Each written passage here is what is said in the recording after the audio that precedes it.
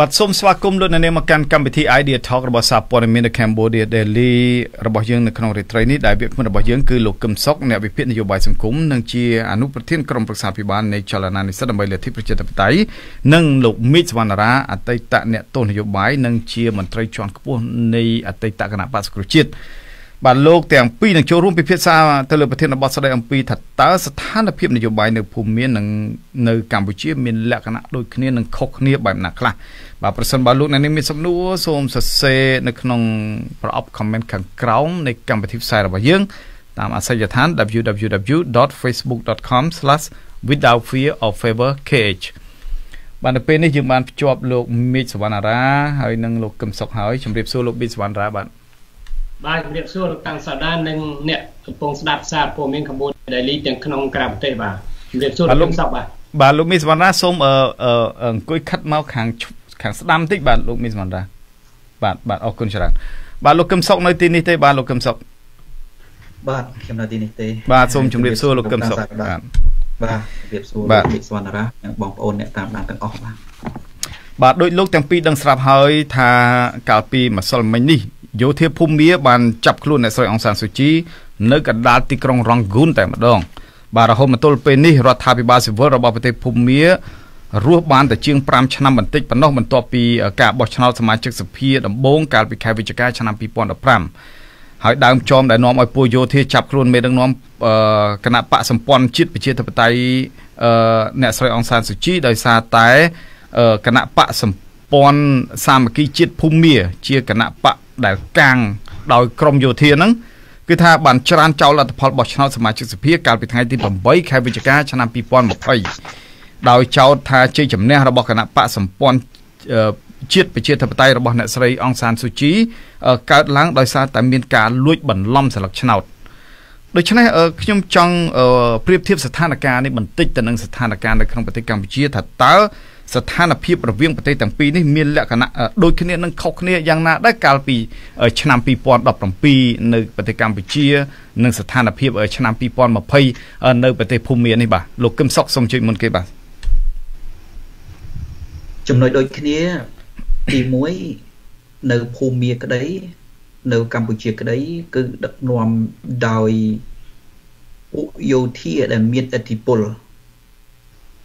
ក្នុងអំណាច បើទោះបីជាលោកស្រីអង្សានស៊ូជីជា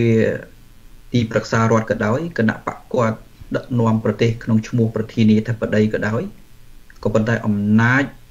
ក្នុងការពង្វិលនយោបាយនៅកម្ពុជាក្តីទាំងនៅភូមាក្តីគឺដោយមេដឹកនាំយោធាដូចគ្នាណាចំណុចទី2មេដឹកនាំយោធាដែលមានបរទេសនៅពីក្រោយដូចគ្នា នៅភូមិមានចិន នៅកម្ពុជាក៏មានចិនដែរហើយគឺជាមេដឹកនាំដែលធ្វើរដ្ឋប្រហារដូចគ្នា ដើម្បីទៅកាន់អំណាចរបស់ប្រទេសចំណុចខុសគ្នានៅត្រង់ថាភូមិធ្វើរដ្ឋប្រហារដោយប្រដាប់អាវុធគ្រប់ពេលនៅពេលដែលពួកយោធាចង់បានអំណាចពេញដៃក៏ប៉ុន្តែនៅប្រទេសកម្ពុជាលោកហ៊ុនសែនធ្វើរដ្ឋប្រហារអចិន្ត្រៃយ៍ ខុសគ្នានៅត្រង់ថារដ្ឋប្រហារយោធាគឺកាលណាមេដឹកនាំយោធាភូមិឃើញថាអំណាចរបស់ខ្លួននឹងមិនអាចធានាបានគឺប្រើកម្លាំងប្រដាប់អាវុធធ្វើរដ្ឋប្រហារតែម្ដងដូចជាក្នុងឆ្នាំ1990ហើយក្នុងពេលបច្ចុប្បន្ននេះជាដើមណាក៏ប៉ុន្តែនៅប្រទេសកម្ពុជាលោកហ៊ុនសែនធ្វើរដ្ឋប្រហារអចិន្ត្រៃយ៍រដ្ឋប្រហារអចិន្ត្រៃយ៍នឹងមានន័យថាធ្វើយ៉ាងណាក៏ដោយវិធីទុច្ចរិតបែបណាក៏ដោយឲ្យតែបានទៅកាន់អំណាច ឧទាហរណ៍ឆ្នាំ1993ពេលដែលចាញ់ការបោះឆ្នោតរៀបចំដោយអ៊ុនតាក់ដែលជាការបោះឆ្នោតយុតិធធហ្នឹងគឺលោកហ៊ុនសែនគាត់គម្រាមធ្វើអបគុំ3ខេត្តជាប់យួននោះដើម្បីទាមទារអំណាចពាក់កណ្ដាលឆ្នាំ1997លោកហ៊ុនសែនធ្វើរដ្ឋប្រហារប្រដាប់អាវុធតែម្ដងក្រោយពីឆ្នាំ1997គឺជារបៀប ទៅកាន់អំណាចដោយការធ្វើការបោះឆ្នោតមិនយុត្តិធម៌គឺលួចបន្លំសន្លឹកឆ្នោតនេះគឺជារបៀបទៅកាន់ការបោះឆ្នោតមានន័យថាជារបៀបទៅកាន់អំណាចរបស់លោកហ៊ុនសែនមានន័យថាពេលណា ដែលលោកហ៊ុនសែនគាត់អាចប្រើវិធីលួចបន្លំបំភ្លៃឆន្ទៈរាជដើម្បីទៅកាន់អំណាចបានគាត់ធ្វើដោយវិធីហ្នឹងគឺបោះឆ្នោតលួចបន្លំក៏ប៉ុន្តែពេលណា ដែលมันអាចបោះឆ្នោតលួចបន្លំ ទៅកាន់អំណាចបាន គឺគាត់ប្រើកម្លាំងប្រដាប់អាវុធដូចនៅភូមិអញ្ចឹងដែរខុសគ្នានៅត្រង់អញ្ចឹងនៅត្រង់ថាភូមិគ្រប់ពេលគឺធ្វើរដ្ឋប្រហារកម្លាំងប្រដាប់អាវុធទៅគ្រប់គ្រងអំណាចក៏ប៉ុន្តែនៅប្រទេសកម្ពុជាលោកហ៊ុនសែនគឺរដ្ឋប្រហារអចិន្ត្រៃយ៍បាទដូច្នេះអឺសម្រាប់លោកតើរដ្ឋប្រហារមួយណាល្អជាងមួយណាបាទរដ្ឋប្រហារគ្មានអីល្អទេ មួយណាក៏នាំគ្រោះហានិភ័យទៅដល់ប្រទេស នីមួយនីមួយដែរទោះបីជាកម្ពុជាក្តីទោះបីជាភូមាក្តីពីព្រោះប្រទេសជាតិនឹងក្រោមការគ្រប់គ្រងដោយនយោបាយនៃជនអំណាចនិយមទំនើងចិត្តធ្វើអ្វីអ្វីដើម្បីតែការពារអំណាចផ្ទាល់ខ្លួនកាលណាអំណាចផ្ទាល់ខ្លួនអំណាចគ្រួសារខ្លួនជាអតិភិបហើយដូច្នេះផលប្រយោជន៍របស់ប្រទេសជាតិនៅពីក្រោយហើយ បាទហើយបំផ្លាញនៅផលប្រយោជន៍របស់ប្រទេសជាតិកាន់តែធ្ងន់ធ្ងរដូចយើងឃើញនៅប្រទេសភូមាក៏ដូចយើងឃើញនៅប្រទេសកម្ពុជាហើយកម្ពុជាកាន់តែធ្ងន់ធ្ងរទៅទៀតនោះគឺសូម្បីតែអនាគតទឹកដីហ្នឹងក៏ជនជាតិខ្មែរទូទៅធ្វើការសង្ស័យដូចគ្នាថាការពារបានឬក៏អត់ទៅទៀតដូច្នេះរដ្ឋអាបែបណាក៏មិនមែនជារឿងល្អដែរកាលណារដ្ឋប្រហារហើយគឺបំផ្លាញនៅមូលដ្ឋានកតិយុត្ត នៃរដ្ឋធម្មនុញ្ញក៏បំផ្លាញនៅឆន្ទៈរបស់ប្រជាពលរដ្ឋហើយកាលណាបំផ្លាញខ្លឹមសាររដ្ឋធម្មនុញ្ញនិងឆន្ទៈរបស់ប្រជាពលរដ្ឋហើយវាអត់មានអីល្អទេក្រៅតែពីនាំជាតិនឹងទៅហានិភ័យរងគ្រោះបាទលោកវិស្វណ្ណរាតើលោកមានការបកស្រាយយ៉ាងណាដែរជុំវិញរដ្ឋប្រហារនៅប្រទេសភូមា ហើយនឹងរដ្ឋប្រហារនៅក្នុងប្រទេសកម្ពុជាកន្លងមកបាទខ្ញុំ មុននឹងមកប្រៀបធៀបប្រទេសកម្ពុជាខ្ញុំចង់ឲ្យហេតុផល2នៃការធ្វើរដ្ឋប្រហាររបស់ប្រទេសភូមាដោយមេតបមិនអងឡាំងហ្នឹងគឺថាអ្វីដែលចេញអំពីការកើតមានរដ្ឋប្រហារគឺថាអាត្មានិយមហ្នឹងបាទអាគំនិតអាត្មានិយមនេះហើយដែលធ្វើឲ្យសង្គមជាតិបែកបាក់ធ្វើឲ្យប្រជាពលរដ្ឋនឹងរងទុក្ខនៅក្នុងផ្លូវកាយផ្លូវចិត្ត ផ្លូវវិចារនៃសិទ្ធិសេរីភាពនៃគោលការណ៍ប្រជាធិបតេយ្យការយករដ្ឋធម្មនុញ្ញជាចំណាប់ខ្មាំងអីហ្នឹងគឺខ្ញុំឃើញមេដឹកនាំភូមិហ្នឹងគាត់មានកត្តាដែលធ្វើឲ្យគាត់មានកើតចេញជារដ្ឋបហាហ្នឹងដោយសារអាត្មានិយមនៃអំណាចក្រមគ្រួសារពួកក្រមយោធា ទៅនឹងផលប្រយោជន៍នៃសេដ្ឋកិច្ចដែលយកប្រទេសធ្វើជាទេសកលនៃអំណាចទេសកលនៃសេដ្ឋកិច្ច ជាទេសកលនៃការគ្រប់គ្រងប្រទេសហ្នឹងគឺថាវាពាក់ព័ន្ធទៅនឹងកតាដែលខ្ញុំមើលឃើញគឺថាលោកអ៊ុំឡាំងអគ្គមេបញ្ជាការនេះគឺគាត់ធ្វើរដ្ឋប្រហារនេះដោយសារនៅក្នុងផ្ទៃក្នុងនៃប្រទេសភូមារបស់គាត់ហ្នឹងគាត់ហាក់បីដូចជាមិនទាន់មានឃើញឲ្យភ្លើងខៀវពីរដ្ឋាភិបាលរបស់អ្នកស្រីអុងសានស៊ូជីដែលជាប់មកអាណត្តិមកហើយ5ឆ្នាំហ្នឹង ហើយមកឈ្នះភ្លុកទឹកភ្លុក3ភ្លុកទឹកភ្លុកដីទៅដល់83%គឺជាកត្តាមួយដែលគ្រោះថ្នាក់ដែលធ្វើឲ្យគណៈបកអង្សាំស៊ូជីនឹងអាចកែប្រែរដ្ឋធម្មនុញ្ញទៅជា25%របស់ពួកយោធាដែលអាសនៈអចិន្ត្រៃយ៍ដោយយកពួកយោធាមកធ្វើជាតំណាងរាស្ត្រហ្នឹងគឺថាពួកគាត់មានការភ័យខ្លាចនៅពេលដែលរដ្ឋាភិបាលរបស់អង្គសានស៊ូជីកាន់អាណត្តិទី2នេះដែលបោះឆ្នោតភ្លុកទឹកភ្លុកដីហ្នឹងអាចកែវិសោធនកម្មរដ្ឋធម្មនុញ្ញ ហើយពួកគាត់នឹងអាចនឹងឡើងតុលាការអន្តរជាតិទីក្រុងឡាអេអ៊ុក្រិតកម្មសង្គ្រាមដូចមេតបប្រធានាធិបតីផ្សេងផ្សេងនៅប្រទេសយូកូស្លាវីដូចនៅសាដាំនៅអ៊ីរ៉ាក់នៅអីគឺថាវាមានអាអារបត់នយោបាយរំអានចឹងមកដោយពួកគាត់នឹងត្រូវតែអឺធ្វើរដ្ឋប្រហារក្នុងរយៈពេលនេះរហូតដល់កំណត់ថាប្រើពេលមួយឆ្នាំ គឺមួយឆ្នាំហ្នឹងក្នុងន័យថាអាចទៅជែកគ្នាក្នុងផ្ទៃក្នុងប្រទេសភូមាហ្នឹងថាតើមានការធានាដល់ពួកគាត់ទេនៅពេលដែលគណៈបកអង្គសានស៊ូជីនេះមានអំណាចពេញដៃដែលអាចកែប្រែរដ្ឋធម្មនុញ្ញដោយពួកទាហានហ្នឹងมันអាចមកយកជាក្រសួងការពារជាតិជាក្រសួងសន្តិសុខជាតិនិងក្រសួងកិច្ចការព្រំដែន ចឹងហើយអានេះជាចំណុចមួយដែលគាត់ធ្វើរដ្ឋប្រហារនេះដើម្បីចង់តថ្លៃគ្នាក្នុងការអានេះការមើលឃើញរបស់ខ្ញុំគឺក្នុងការតថ្លៃដើម្បីឲ្យមានការធានាធានាឲ្យកុំឲ្យពួកគាត់នៅពេលដែលគាត់ចូលនិវត្តន៍ឥឡូវគាត់អាយុ65ឆ្នាំហើយអញ្ចឹងនៅថ្ងៃណាមួយគាត់នឹងចូលនិវត្តន៍អញ្ចឹងអាបញ្ហានៃការចូលនិវត្តន៍អស់អំណាចយោធាក្រមយោធានឹងត្រូវបានកាត់ទោសនៅតុលាការអ ுக ្រិតកម្មសង្គ្រាមអ ுக ្រិតកម្មបល័យពូជសាសន៍អ ுக ្រិតកម្ម បង្កការរំលោភសិទ្ធិមនុស្សផ្សេងផ្សេងហ្នឹងទៅតុលាការអន្តរជាតិហ្នឹងជាបញ្ហាទី1ហើយបញ្ហាទី2ខ្ញុំឃើញត្រូវតែមានការលូកដៃ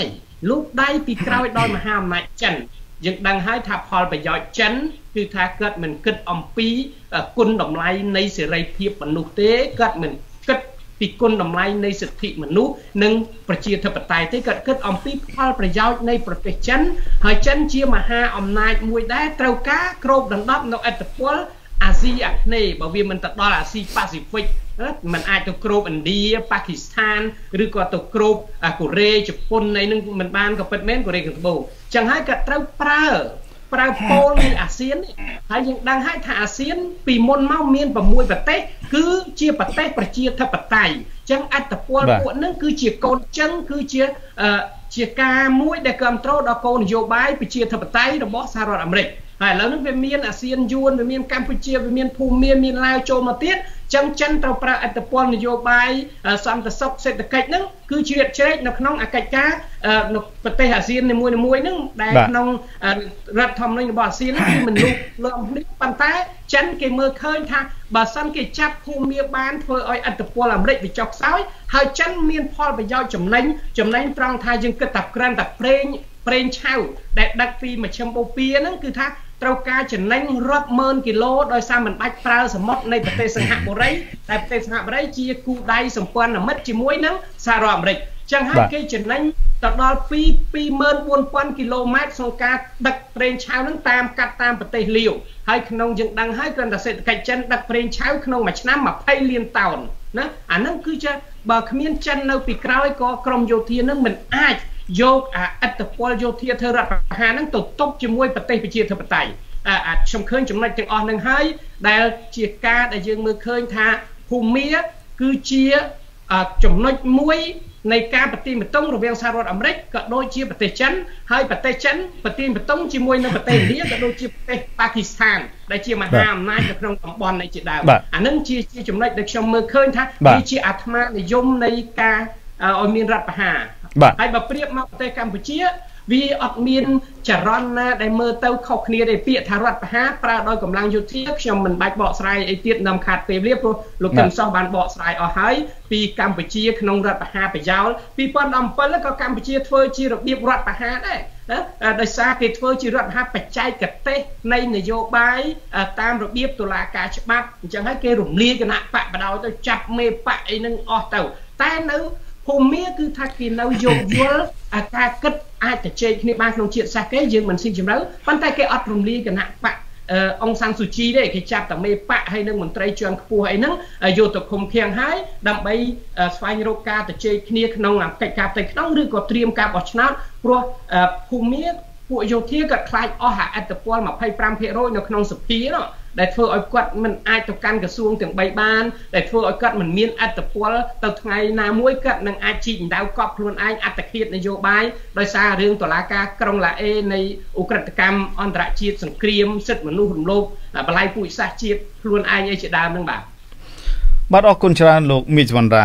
ចំណែកលោកកឹមសុខ លោកកឹមសុខដូចលោកនឹងស្រាប់ហើយថាអ្នកសង្កេតការជាច្រើនមានការបកស្រាយខុសគ្នាថាស្ថានភាពនៅក្នុងប្រទេសភូមាអ្នកខ្លះបានចាត់ទុកថាជារដ្ឋប្រហារអ្នកខ្លះទៀតមិនទាន់ចាត់ទុកថាជារដ្ឋប្រហារនៅឡើយទេដោយអ្នកសង្កេតការខ្លះចាត់ទុកថាអ្នកស្រីអង្សានស៊ូជីមិនទាន់បានឡើងកាន់អំណាចនៅឡើយទេដូច្នេះការដែលចាប់ខ្លួនអ្នកស្រីអង្សានស៊ូជីនិងមន្ត្រីជាន់ខ្ពស់នៃគណៈបក សម្ព័ន្ធជាតិប្រជាធិបតេយ្យរបស់អ្នកស្រីហ្នឹងគឺថាមិនមិនមែនជាការធ្វើរដ្ឋប្រហារនោះទេ បាទដោយសារអ្នកទាំងអស់នោះមិនទាន់បានឡើងកាន់អំណាចនៅឡើយតើលោកសម្រាប់លោកវិញលោកមានការយល់ឃើញបែបណាដែរតើវាជារដ្ឋប្រហារឬក៏មិនមែនជារដ្ឋប្រហារបាទគេពិបាកនិយាយថាជារដ្ឋប្រហារតែនៅក្នុងករណីលទ្ធផលបោះឆ្នោតមិនទាន់ប្រកាសជាផ្លូវការទេ បាទប៉ុន្តែកាលណាលទ្ធផលបោះឆ្នោតប្រកាសជាផ្លូវការហើយឆន្ទៈរបស់ប្រជាពលរដ្ឋឬតំណាងរបស់គាត់រួចហើយ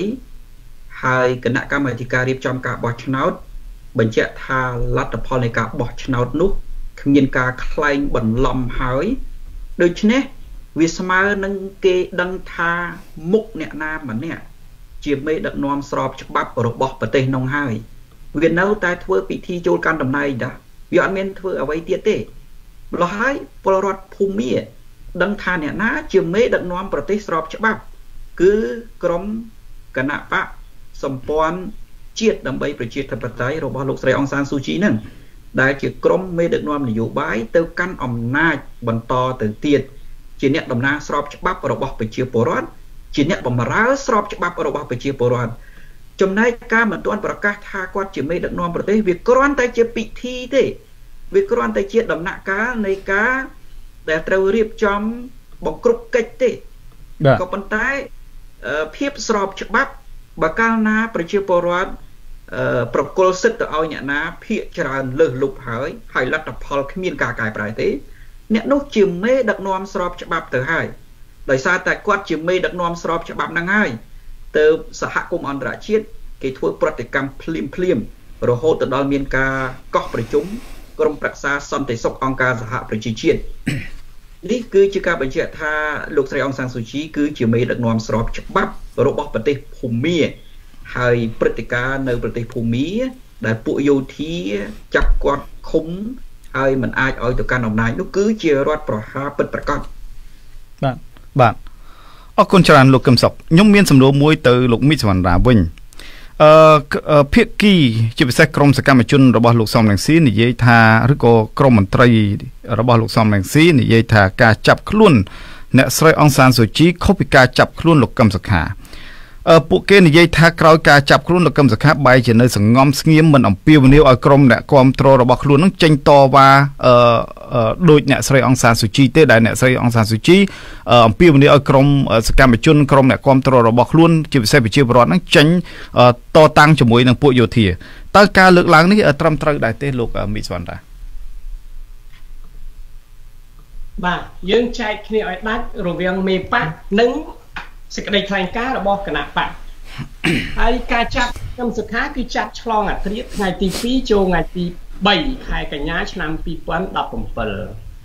ពេលនោះគឺថាអវ័យអវ័យលោកសុខាអត់មានអីដែលត្រូវតាក់ទងអីទេមេធាវីក៏មិនទាន់ទៅបានអីបានចឹងហើយតើឲ្យលោកកឹមសុខានឹងទៅអំពាវនាវតាមច្រកណាទី1ទី2តើគណៈបកនេះ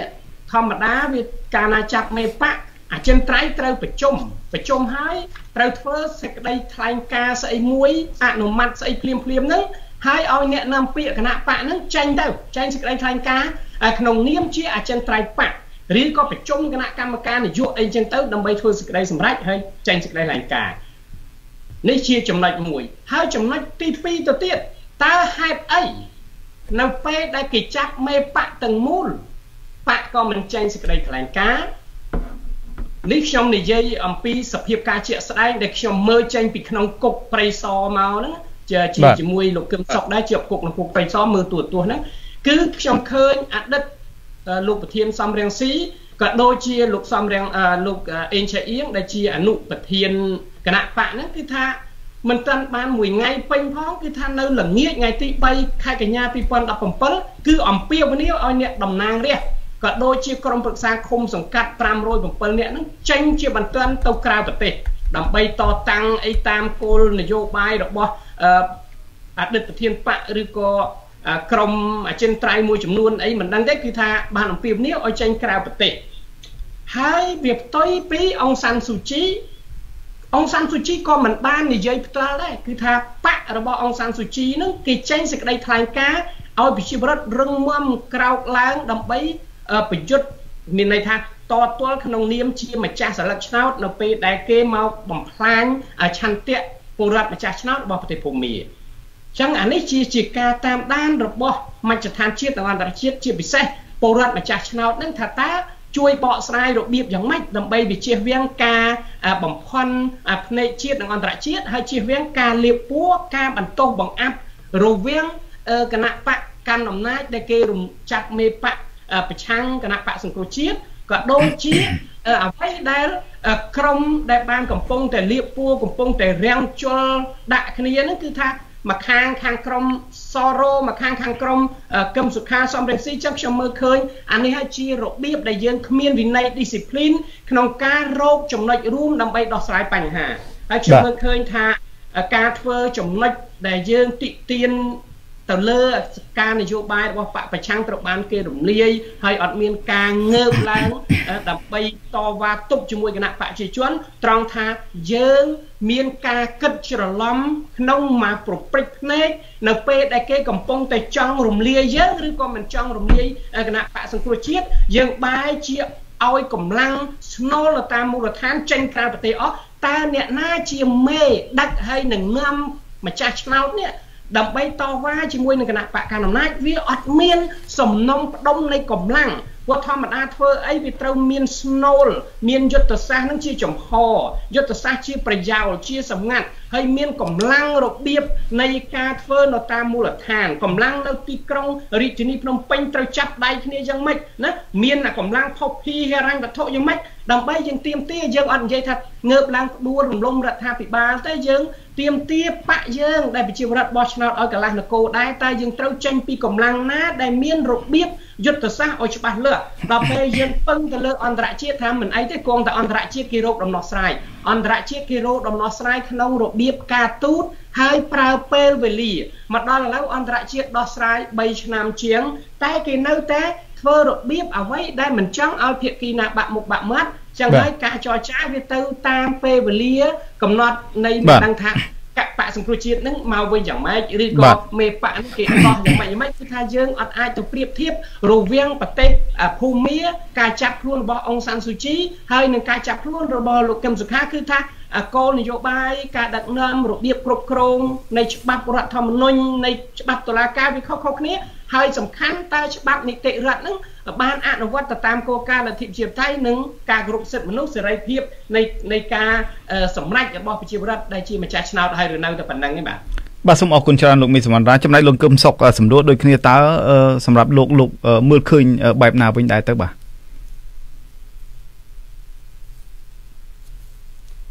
លោកកឹមសុខខ្ញុំពិនិត្យព្រឹត្តិការណ៍នយោបាយបាទខ្ញុំគិតថាគណៈបកសង្គ្រោះជាតិពិតជាមានការខ្វះចន្លោះមែនទាំងលោកកឹមសុខាទាំងក្រុមលោកសំរាំងស៊ីនៅពេលដែលគេចាប់លោកកឹមសុខាតែពិតលោកមេឃសវណ្ណរាគាត់មាន ប្រសាសន៍ថាតើឲ្យទៅប្រាប់ណានៅពេលដែលចាប់លោកកឹមសុខារឿងនេះខ្ញុំមិនយល់ស្របទេពីព្រោះអី ទោះបីជាគេចាប់លោកកឹមសុខាទាំងយប់ក៏ដោយកាលណាគាត់ផ្សាយសម្លេងរបស់គាត់ចេញ នៅពេលដែលគេចាប់នោះគឺគេអាចដឹងបានដែរថាលោកកឹមសុខាអំពាវនាវហេតុអ្វីលោកកឹមសុខាមិនអំពាវនាវរងចាំការសម្រេចរបស់អឺគណៈកម្មាធិការចិនត្រៃរបស់គណៈបករឿងនេះវាមិនមានភាពសមរម្យទេដោយសារអី រឿងអយុត្តិធម៌ដែលកើតចំពោះគណៈបកទាំងមូលហើយក៏ជារឿងអយុត្តិធម៌ដែលកើតចំពោះគាត់ដែលជាមេដឹកនាំនយោបាយដូច្នេះមិនចាំបាច់រងចាំការសម្រេចរបស់គណៈអចិន្ត្រៃយ៍ទេគាត់ត្រូវតែប្រកាសរកយុត្តិធម៌យ៉ាងហោចណាស់ក៏រកយុត្តិធម៌សម្រាប់ខ្លួនគាត់ដែលជាមេដឹកនាំនយោបាយដែរពីព្រោះនេះជារឿងអយុត្តិធម៌ជ្រុលពេកដែលកើតឡើងចំពោះគាត់នេះចំណុចទី1ចំណុចទី2ក្រុមលោកសំរងស៊ីក៏មានកំហុសធំដែរ នៅពេលដែលគេចាប់លោកកឹមសុខាហើយបែរជាមិនព្រមនៅតវ៉ាទេមិនព្រមនៅតវ៉ារហូតដល់គេរំលាយគណៈបកក៏មិននៅតវ៉ាទៀតនាំគ្នាចេញអស់គឺទាំងមេតបក៏រត់ចោលជួរទាំងកងទ័ពឆ្នាំឆ្នាំក៏នាំគ្នារត់ចោលជួរនេះបើនៅក្នុងសម័យសង្គ្រាមវិញណាគេអត់ឲ្យចូលជួរវិញទេណាហើយមានទោសទៀតណានៅគេហៅថាមានទោសនៅចំពោះគ្នាឯងមិនមែនមានទោសនៅចំពោះជាតិទេណាដូច្នេះ គណៈបកសង្គ្រោះជាតិកុំបន្ទោសគ្នាទៅវិញទៅមកមានចំណុចខុសឆ្គងដូចគ្នាក្នុងនយោបាយតទល់នឹងគណៈបកប្រជាជនកម្ពុជាដូច្នេះវិធីដែលល្អមានតែការនិយាយរកគ្នា ដើម្បីសម្របសម្រួលផ្ទៃក្នុងឡើងវិញឯងកុំនាំគ្នាទៅបន្ទោសគ្នា ចំណុចលោកស្រីអង្សានស៊ូជីគាត់ក្លាហានណាគាត់រឹងមាំណាគាត់មើងម៉ាត់ណានៅពេលដែលមានព័ត៌មានដឹងខ្ញុំគិតថាមានពួកយោធារាយការណ៍ឲ្យគាត់ហើយ គាត់ដឹងជាមុនថាអឺនឹងមាននឹងអាចមានការធ្វើរដ្ឋប្រហារអឺប្រឆាំងឬក៏រំលាយចោលនៅលទ្ធផលនៃការបោះឆ្នោតដូច្នេះហើយគាត់អំពាវនាវទុកជាមុនហើយគាត់អត់ទៅណាទេគាត់អំពាវនាវឲ្យប្រជាពលរដ្ឋនៃប្រទេសភូមារបស់គាត់នឹងធ្វើជាម្ចាស់នៃការការពារឆន្ទៈរបស់ពួកគាត់ពីព្រោះហេតុអីបានជាគាត់អំពាវនាវដូច្នេះ គាត់អំពាវនាវយ៉ាងត្រឹមត្រូវនិងសំសួនបំផុតនៅត្រង់ណា នៅត្រង់ថាគាត់បានលះបង់អស់ពីចិត្តទៅហើយគាត់បានលះបង់ដឹងថាគេប្រុងចាប់គាត់ក៏គាត់មិនចេញគាត់នៅប្រឈមទៅនឹងការចាប់ហើយជាប់ពន្ធនាគារឬដាក់ក្នុងផ្ទះសប្តាហ៍ថ្ងៃនេះដាក់ក្នុងផ្ទះសិនដូច្នេះអ្វីដែលគាត់បានធ្វើគឺគាត់ធ្វើទាំងអស់ការលះបង់ការអំពាវនាវគាត់មិនខ្លាចប្រឈម ទៅនឹងយុទ្ធសាស្ត្រក្តៅរបស់មេដឹកនាំយោធាភូមិឯងម្ល៉េះហើយការអំពាវនាវឲ្យពលរដ្ឋភូមិក្រោកឡើង ការពារឆន្ទៈរបស់ពួកគាត់គឺជារឿងត្រឹមត្រូវបំផុតចំណែកឯមេដឹកនាំប្រឆាំងសម្រាប់ប្រទេសកម្ពុជាយើងការអំពាវនាវឲ្យប្រជាពលរដ្ឋមិនមែនជារឿងមិនត្រឹមត្រូវទេក៏ប៉ុន្តែស្ទើរឆន្ទៈពីមេដឹកនាំប្រឆាំងមេដឹកនាំប្រឆាំងដូចជាលោកកឹមសុខានៅប្រទេសកម្ពុជា គាត់មានសិទ្ធិដើរហើរខ្លះក៏ប៉ុន្តែអ្វីអ្វីដូចជាមិនបានរៀបចំមានបណ្ដាញពីមុនមកក្នុងការពិភាក្សាការងារដែលអាចទៅរួចចំណែកមេដឹកនាំប្រឆាំងម្នាក់ទៀតបែរជានាំគ្នាទៅចោលសមរភូមិដូច្នេះនៅពេលដែលមេដឹកនាំស្ទើរឆន្ទៈនៅពេលដែលមេដឹកនាំស្ទើរការលះបង់មិនហ៊ានធ្វើពលិកម្មការអំពាវនាវឲ្យប្រជាពលរដ្ឋងើបឡើងដើម្បីប្រើសិទ្ធិក្នុងការការពារឆន្ទៈរបស់ពួកគាត់ហ្នឹង គឺគ្មានក្បាលម៉ាស៊ីនក្នុងការនាំទេហើយនៅពេលហ្នឹងក៏អត់សឹងមានឥទ្ធិពលដូចនៅប្រទេសភូមាដែរភូមាអង្គសាស៊ូជីគិតហ៊ានលះបង់គ្រប់បែបយ៉ាងដូច្នេះសម្ដីរបស់គាត់តែមួយម៉ាត់ពីរម៉ាត់គឺមានឥទ្ធិពល ក្នុងការទាញកំណត់របស់ប្រជាពលរដ្ឋការបាទប៉ុន្តែលោកកឹមសុខបញ្ហានៅក្នុងប្រទេសកម្ពុជាអាចជាដោយសារវាមានលក្ខណៈខុសពីភូមិសម្រាប់គណៈបពប្រឆាំងដូចជាលោកដឹងស្រាប់ហើយថានៅក្នុងបពប្រឆាំងមានក្បាលម៉ាស៊ីនធំធំជាពិសេសមានមេដឹកនាំគណៈបកនយោបាយ2ដែលជាការច្បាច់បញ្ចូលគ្នារវាងក្រមលោកសំរងស៊ីនិងក្រមលោកកឹមសុខាគឺក្រមគណៈបកសំរងស៊ីនិងគណៈបកសិទ្ធិមនុស្សចូលគ្នាដូច្នេះដែលធ្វើឲ្យអាច ថាតើនៅពេលដែលគេមានការចាប់ខ្លួនលោកកឹមសុខាហ្នឹងភាគីទាំងសងខាងទាំងលោកសំរងស៊ីលោកកឹមសុខាហាក់នៅមានភាពប្រចាំគ្នាឬក៏ស្ទាក់ស្ទើរក្នុងការចេញសារបំផុសឲ្យមានការតតាំងជាមួយភាគីលោកហ៊ុនសែនហ្នឹងដែរទេបាទលោកកឹមសុខនេះជាលក្ខណៈសម្បត្តិផ្ទាល់របស់មេដឹកនាំលក្ខណៈសម្បត្តិផ្ទាល់របស់មេដឹកនាំនៃប្រទេសកម្ពុជាសំទោសលក្ខណៈសម្បត្តិផ្ទាល់នៃមេដឹកនាំប្រឆាំងនៅប្រទេសកម្ពុជា ដែលធ្វើការមិនទុកចិត្តគ្នា ដែលធ្វើការពេលខ្លះមិនអោយតម្លៃគ្នាឧទាហរណ៍លោកសំរាំងស៊ីបន្ទាបឬបន្ថយអឺនៅគុណសម្បត្តិនៃការលះបង់របស់លោកកឹមសុខារហូតដល់ពេលខ្លះខ្ញុំលើពាក្យបន្ថយគុណសម្បត្តិនៃការធ្វើពលិកម្មរបស់លោកបណ្ឌិតកែមលីផងដូច្នេះទស្សនវិស័យនៃរបៀបដឹកនាំនយោបាយរបស់មេដឹកនាំប្រឆាំងនៅប្រទេសកម្ពុជាយើងគឺអត់ដល់កម្រិត នៃទស្សនវិស័យនិងឆន្ទៈព្រមទាំងសកម្មភាពនិងវោហាសាសនយោបាយនៃមេដឹកនាំនៅប្រទេសភូមាទេលោកស្រីអុងសានស៊ូជីគាត់ជាក់លាក់ណាស់គាត់បង្រួមផ្ទៃក្នុងច្បាស់លាស់ណាស់ហើយគាត់មិនគេ discredit គឺទម្លាក់តម្លៃគ្នាឯងទេ ចំណែកនៅប្រទេសកម្ពុជាយើង ដោយសារតែមេដឹកនាំប្រឆាំងអាចថាមានក្បាលពីរក៏អញ្ចឹងមែនក៏ប៉ុន្តែរឿងដែលសំខាន់គឺអត់ឲ្យតម្លៃគ្នាទៅទៀត នៅពេលដែលកំពុងតែតស៊ូជាមួយគ្នាហើយឌឺដងដាក់គ្នាទៅវិញទៅមកគ្រាន់តែអ្នកវិភាគមានយោបល់ថាគួរតែនិយាយគ្នាកុំឌឺដងដាក់គ្នាកន្លងមកអ្នកវិភាគវិញដែរដូច្នេះនេះជាអឺគោលការណ៍ដែលអឺបន្ថយឥទ្ធិពលក្នុងការបង្រួមកម្លាំងឬក៏បង្រួបបង្រួមកម្លាំងប្រមូលកម្លាំងនៃចលនាប្រជាធិបតេយ្យនៅប្រទេសកម្ពុជាឲ្យកាន់តែធំណាបាទហើយរឿងដែលសំខាន់គឺលក្ខណៈសម្បត្តិ នៃការដឹកនាំរបស់មេដឹកនាំប្រឆាំងនៅប្រទេសភូមាគឺខ្ពស់ណាស់ក៏ប៉ុន្តែមេដឹកនាំប្រឆាំងនៅប្រទេសកម្ពុជា ប្រសិនបើលោកសំរងស៊ីមានតែ50%នៃប្រទេសភូមាណាលោកហ៊ុនសែនពិបាកទប់ហើយពីព្រោះសប្តាហ៍ថ្ងៃបើទោះបីជាមេដឹកនាំប្រឆាំងនៅប្រទេសកម្ពុជាក្បាលពីរអញ្ចឹងមែនប៉ុន្តែបើលោកសំរងស៊ីគាត់មានយុទ្ធនាការច្បាស់លាស់នៅក្នុងការដាក់ខ្លួនរកការបង្រួបបង្រួមគ្នា ហើយមិនបន្ទាបដៃគូខ្លួនឯងក៏មិនបន្ទាបសកម្មជនទាំងឡាយណា ដែលមិនយល់ស្របយោបល់របស់គាត់ក៏ប៉ុន្តែព្យាយាមប្រមូលព្យាយាមអឺអនុវត្តនៅមេរៀននៃការផ្ដល់ឲ្យអឺសកម្មជនរបស់ខ្លួនដោយគោលការណ៍សិលធម៌ក្នុងការតស៊ូនយោបាយគោរពតាមគោលការណ៍ច្បាប់ត្រឹមត្រូវច្បាស់លាស់កុំប្រឌិតរឿងវាប្រហារគ្នាបើលោកសំរងស៊ីធ្វើរឿងអស់ទាំងហ្នឹងណា បាទកម្ពុជាមេដឹកនាំប្រឆាំងនៅកម្ពុជានិងចលនានយោបាយប្រឆាំងនៅកម្ពុជាមានឥទ្ធិពលមិនចាញ់នៅប្រទេសភូមាប្រមាណទេក៏ប៉ុន្តែលោកសំរងស៊ីគាត់តែរឿងប៉ុណ្ណឹងគាត់ឆ្លើយនៅអ្នកសារព័ត៌មានដែលសួររឿងហ្នឹងគាត់មិននឹងសួរផងហ្នឹងអឺសំទោសគាត់មិននឹងឆ្លើយឲ្យបានច្បាស់លាស់ផងហ្នឹងដូច្នេះហើយធ្វើឲ្យសកម្មជនហ្នឹងនៅវាយប្រហារគ្នាចុះឡើងចុះឡើងធ្វើឲ្យចលនានយោបាយប្រឆាំងនៅប្រទេសកម្ពុជាហ្នឹងកាន់តែពិបាកនឹងរកការប្ររូបរួមគ្នា គឺខុសលក្ខណៈសម្បត្តិដែលប៉ុន្តែប៉ុន្តែបាទប៉ុន្តែលោកកឹមសុខហេតុអីបានជាលោកសំរងស៊ីមិនឆ្លៀតឱកាសក្នុងការធ្វើដូចធ្វើដូចនៅប្រទេសភូមាឧទាហរណ៍ថានៅប្រទេសភូមាមានក្រម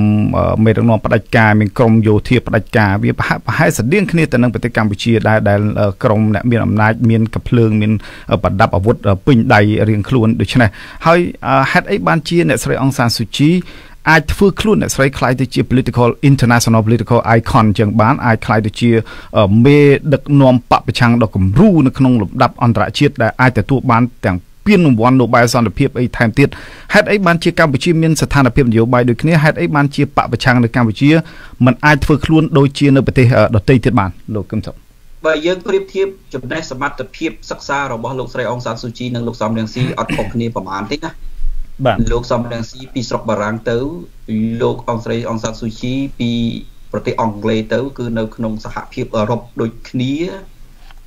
ឡូវហ្នឹងមិនមែនសហភាពអឺរ៉ុបដូចគ្នាក្នុងប្រទេសអឺរ៉ុបដែលមានការរីកលូតលាស់ផ្នែកវិស័យអប់រំដូចគ្នាហើយគាត់មានគេឈ្មោះអឺដែលគេដឹងឮជំវិញពិភពលោកដូចគ្នាក៏ប៉ុន្តែលក្ខណៈសម្បត្តិនៃការអនុវត្តផ្ទាល់មិនដូចគ្នាទី1វោហារសាស្ត្រនយោបាយ លោកសំរងស៊ីស្អីក៏គាត់អាចនិយាយចេញបានដែរណាទោះបីជារឿងហ្នឹងវាមិនស្របទៅនឹងរដ្ឋធម្មនុញ្ញក៏គាត់អាចនិយាយចេញបានទោះបីជារឿងហ្នឹងស្ដាប់ទៅជាពាក្យពេចនយោបាយដែលមិនឈរទៅលើគោលសិលធម៌ក៏គាត់អាចនិយាយចេញក៏ប៉ុន្តែលោកស្រីអងសានស៊ូជីគាត់ព្រឹកព្រៀនសារនយោបាយរបស់គាត់ខ្លាំងណាស់គាត់ព្រឹកព្រៀនរហូតដល់មិនអោយប៉ះបាក់តូចតូចផ្សេងផ្សេងទៀតណា បាក់តូចតូចផ្សេងផ្សេងទៀតដែលធ្វើនយោបាយបាន10 20កៅអីនៅក្នុងប្រទេសភូមាដែរណាគាត់មិនវេប្រហាបាក់ផ្សេងផ្សេងទៀតនៅក្នុងលក្ខខណ្ឌឲ្យតែអ្នកណាមានទស្សនៈផ្ទុយពីគាត់សិតតែអាយ៉ងសិតតែលក់ខ្លួនអត់មានទេលោកស្រីអងសានស៊ូជីគាត់និយាយតែពីដំណោះស្រាយនយោបាយដំណោះស្រាយជាតិការកសាងកម្លាំងជាតិហើយក្នុងពេលហ្នឹងគាត់និយាយអំពីគោលសិលធម៌នៃការអប់រំសកម្មជនរបស់គាត់ ខ្ញុំស្គាល់សកម្មជនខ្លះនៃគណៈបករបស់លោកស្រីអងសានស៊ូជីដែរតាដូច្នេះខ្ញុំធ្លាប់សិក្សាអំពីពួកគេហើយសួរនាំពួកគេអំពីអ្វីដែលជាជំហររបស់លោកស្រីអងសានស៊ូជីចំណែកយើងនៅប្រទេសកម្ពុជាយើងដឹងស្រាប់ហើយលោកសំរងស៊ីបើថាអ្នកណាហ៊ានទៅបើកគណៈបកថ្មី គឺអាយ៉ងអាលុកខ្លួនអីគ្រប់បែបយ៉ាងទាំងអស់ទោះបីជាយើងមិនច្បាស់ថាតើអ្នកនោះអាយ៉ងពិតប្រកបមែនឬលក់ខ្លួនពិតប្រកបមែនក៏ដោយកាលណាយើងអឺ សាព្រោះនៅនយោបាយដែលគ្រាន់តែប្រើអារម្មណ៍មកផ្លេតហ្នឹងណាគឺធ្វើឲ្យអ្នកនយោបាយផ្សេងផ្សេងមានអារម្មណ៍អឺមិនអាចនឹងធ្វើការចុះជាមួយនឹងមេដឹកនាំនយោបាយកម្ពុជាហ្នឹងហើយម្ល៉េះហើយនាំឲ្យកម្លាំងនយោបាយប្រជាធិបតេយ្យហ្នឹងកាន់តែបែកបាក់គ្នាចំណុចទី2លោកសំរងស៊ីគាត់ដូចខ្ញុំបញ្ជាក់ខាងដើមអញ្ចឹងកន្លែងខ្លះគាត់ហ៊ានទម្លាក់តម្លៃដៃគូខ្លួនឯងឧទាហរណ៍លោកកឹមសុខា ខ្ញុំនិយាយអំពីលោកកឹមសុខាអំបញ្ញមិញដែលគាត់មិនហ៊ាននិយាយរឿងអស់ហ្នឹងមិនមែនមានន័យថាគាត់គ្មានតម្លៃក្នុងការតស៊ូនយោបាយទេមិនមែនទេណាតម្លៃរបស់គាត់នៅតែខ្ពស់ជាងគេបើយើងគិតអំពីស្ថានភាពបច្ចុប្បន្នក្នុងចំណោមមេដឹកនាំនយោបាយដែលហ៊ានលះបង់ប្រឈមនឹងអំណាចផ្ដាច់ការគាត់នៅតែខ្ពស់ជាងគេក៏ប៉ុន្តែពេលខ្លះយើងឃើញលោកសំរងស៊ីនឹងលឺលោកសំរងស៊ីនិយាយនៅទស្សនៈនយោបាយដែលទម្លាក់តម្លៃដៃគូខ្លួនឯងទៅវិញ ទម្លាក់តម្លៃទាំង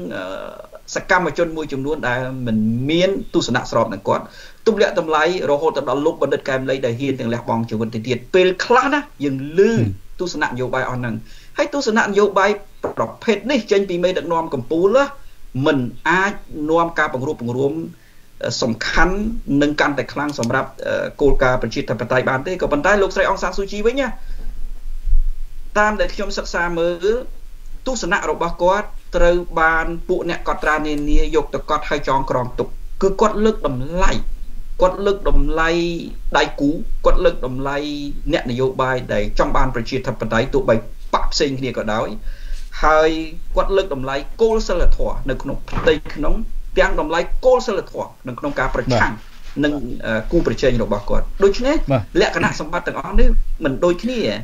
ចំណាយយើងមើលប៉ុន្តែហេតុមូលហេតុអីនៅពីក្រោយនៃការដែលលោកសំរងស៊ីមិនអាចរៀនសូត្រតាមគំរូមេដឹកនាំ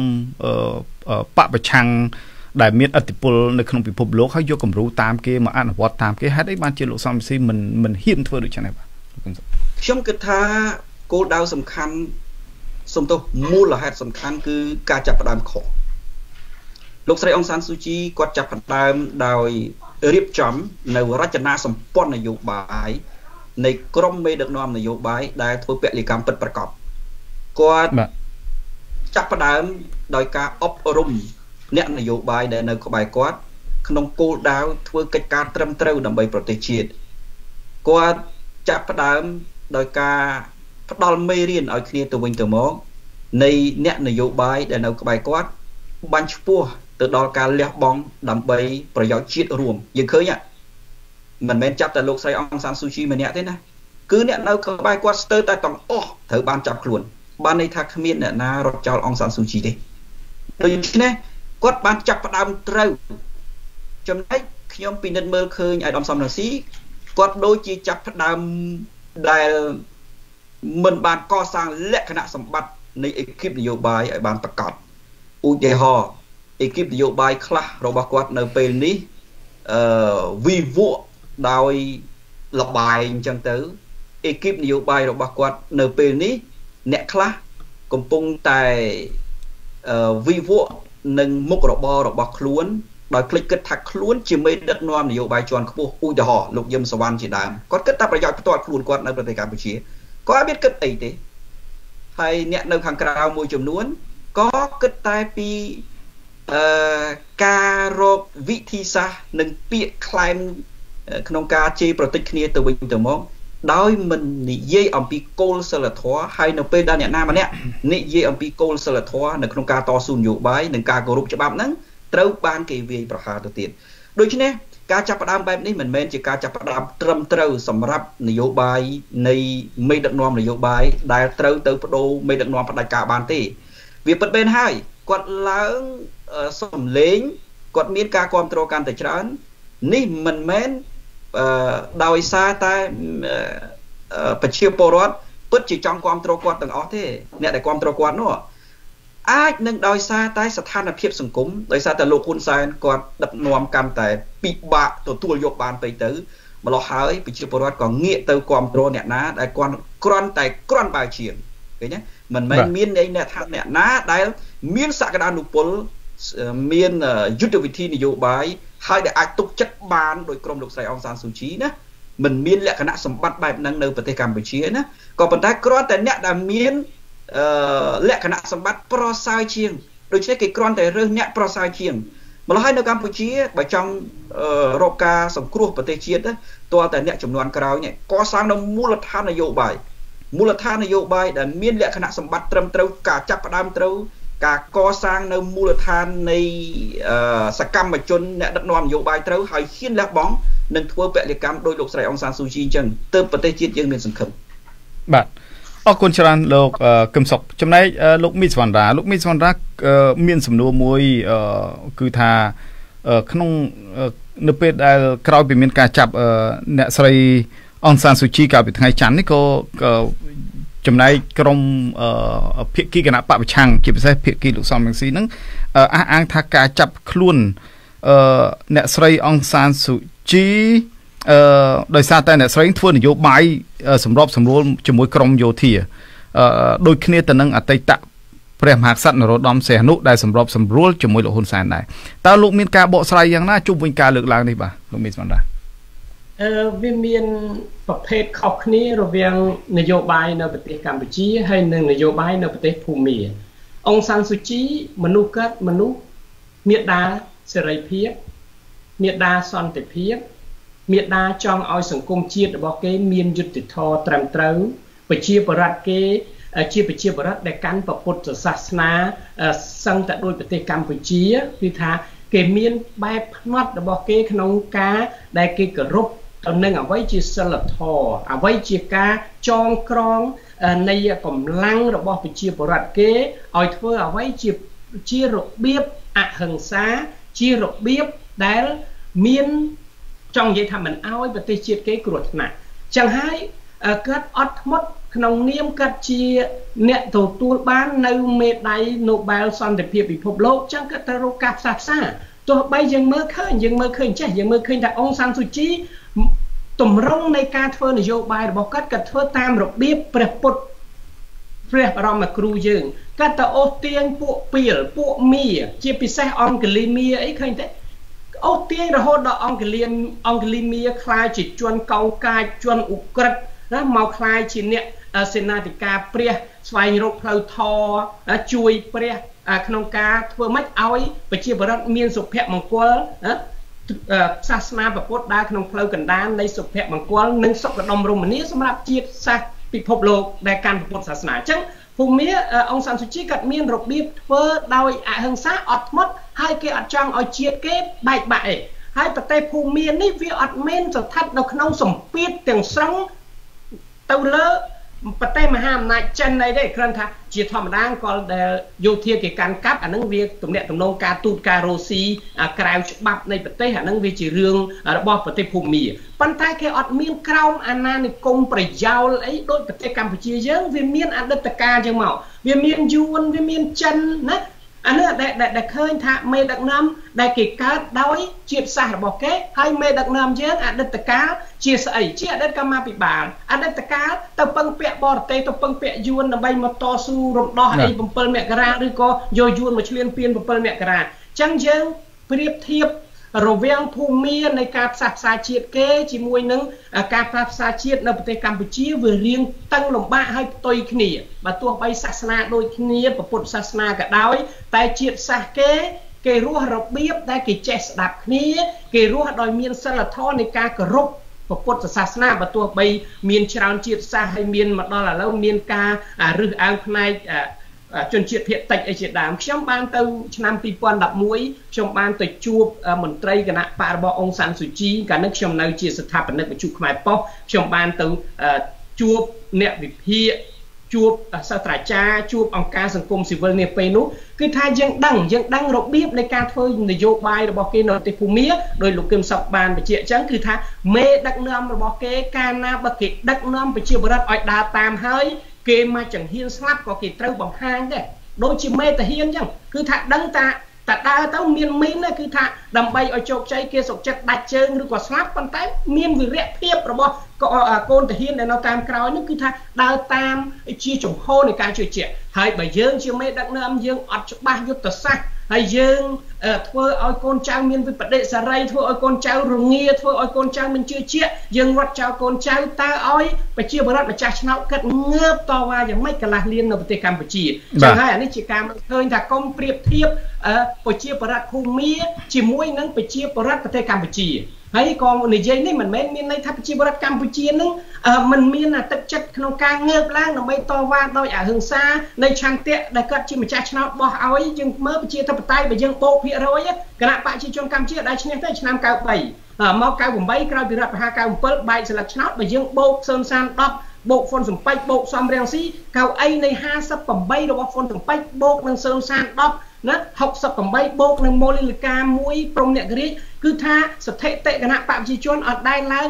50%នេះនៃការបោះឆ្នោតហើយតម្រើមមកដល់ឆ្នាំ2017វាភ្លុកទឹកភ្លុកដីដោយតែគណៈបកអង្សានស៊ូជីគ្រាន់តែយើងវាមានការដឹកនាំរៀបចំនៃគណៈបកនយោបាយផ្ទៃក្នុងលក្ខន្តិកៈហើយយើងខ្វះនៅគេហៅទិញថែងក្រមយុទ្ធសាស្ត្រនៃបពប្រឆាំងហ្នឹងគឺថា វាដូចជាមិនមានអ្វីដែលធ្វើឲ្យខ្លាំងរឹងមាំសម្រាប់ទប់មួយគណៈបព្វជិជនអញ្ចឹងគេដឹងពីចំណុចខ្សោយយើងហើយយើងក៏វាវាពិបាកដែរដោយសារយើងគណៈបពប្រឆាំងចេះតែប្រមូលមកអីអញ្ចឹងទៅហើយ គូមកខាងទៀតគេមិនទាន់មានសុចរិតភាពជាមួយយើងអញ្ចឹងវាអត់មានភាពអត់មានអ្នកស្មោះត្រង់អ្នកឆាន់តាកហ្នឹងវាតិចជាងតាកឆាន់មកបន្លំធ្វើអ្នកវិជាធិបតេយ្យទៅគិតពីផលប្រយោជន៍ខ្លួនអាត្មានិយមជាងផលប្រយោជន៍ជាតិជាងផលប្រយោជន៍នៃប្រជាពលរដ្ឋដែលខំលះបង់ដូច2013ការចូលសភាអីដែលយើងមិនទាន់បាននិយាយគ្នាឲ្យមូលមាត់បាត់ដំកផងយើងអឺ អានេះខ្ញុំមិនចង់និយាយប៉ុន្តែប្រជាប្រដ្ឋតាមដានអញ្ចឹងខ្ញុំមើលឃើញថាកុំប្រៀបធៀបគ្នានៃយុទ្ធសាស្ត្រនយោបាយរបស់អង្គសានស៊ូជីហើយនឹងយើងប្រទេសកម្ពុជាដោយសារតែយើងនៅមានអាហេតុបច្ច័យនឹងវាមិនទាន់មានសំណុំនៃការឯកភាពមិនថានៅក្នុងផ្ទៃក្នុងបកក៏ដូចជានៅក្នុងឯកភាពជាតិរបស់កម្ពុជាបាទបាទបាទលោកកឹមសុខក្រមអ្នកគ្រប់គ្រងរបស់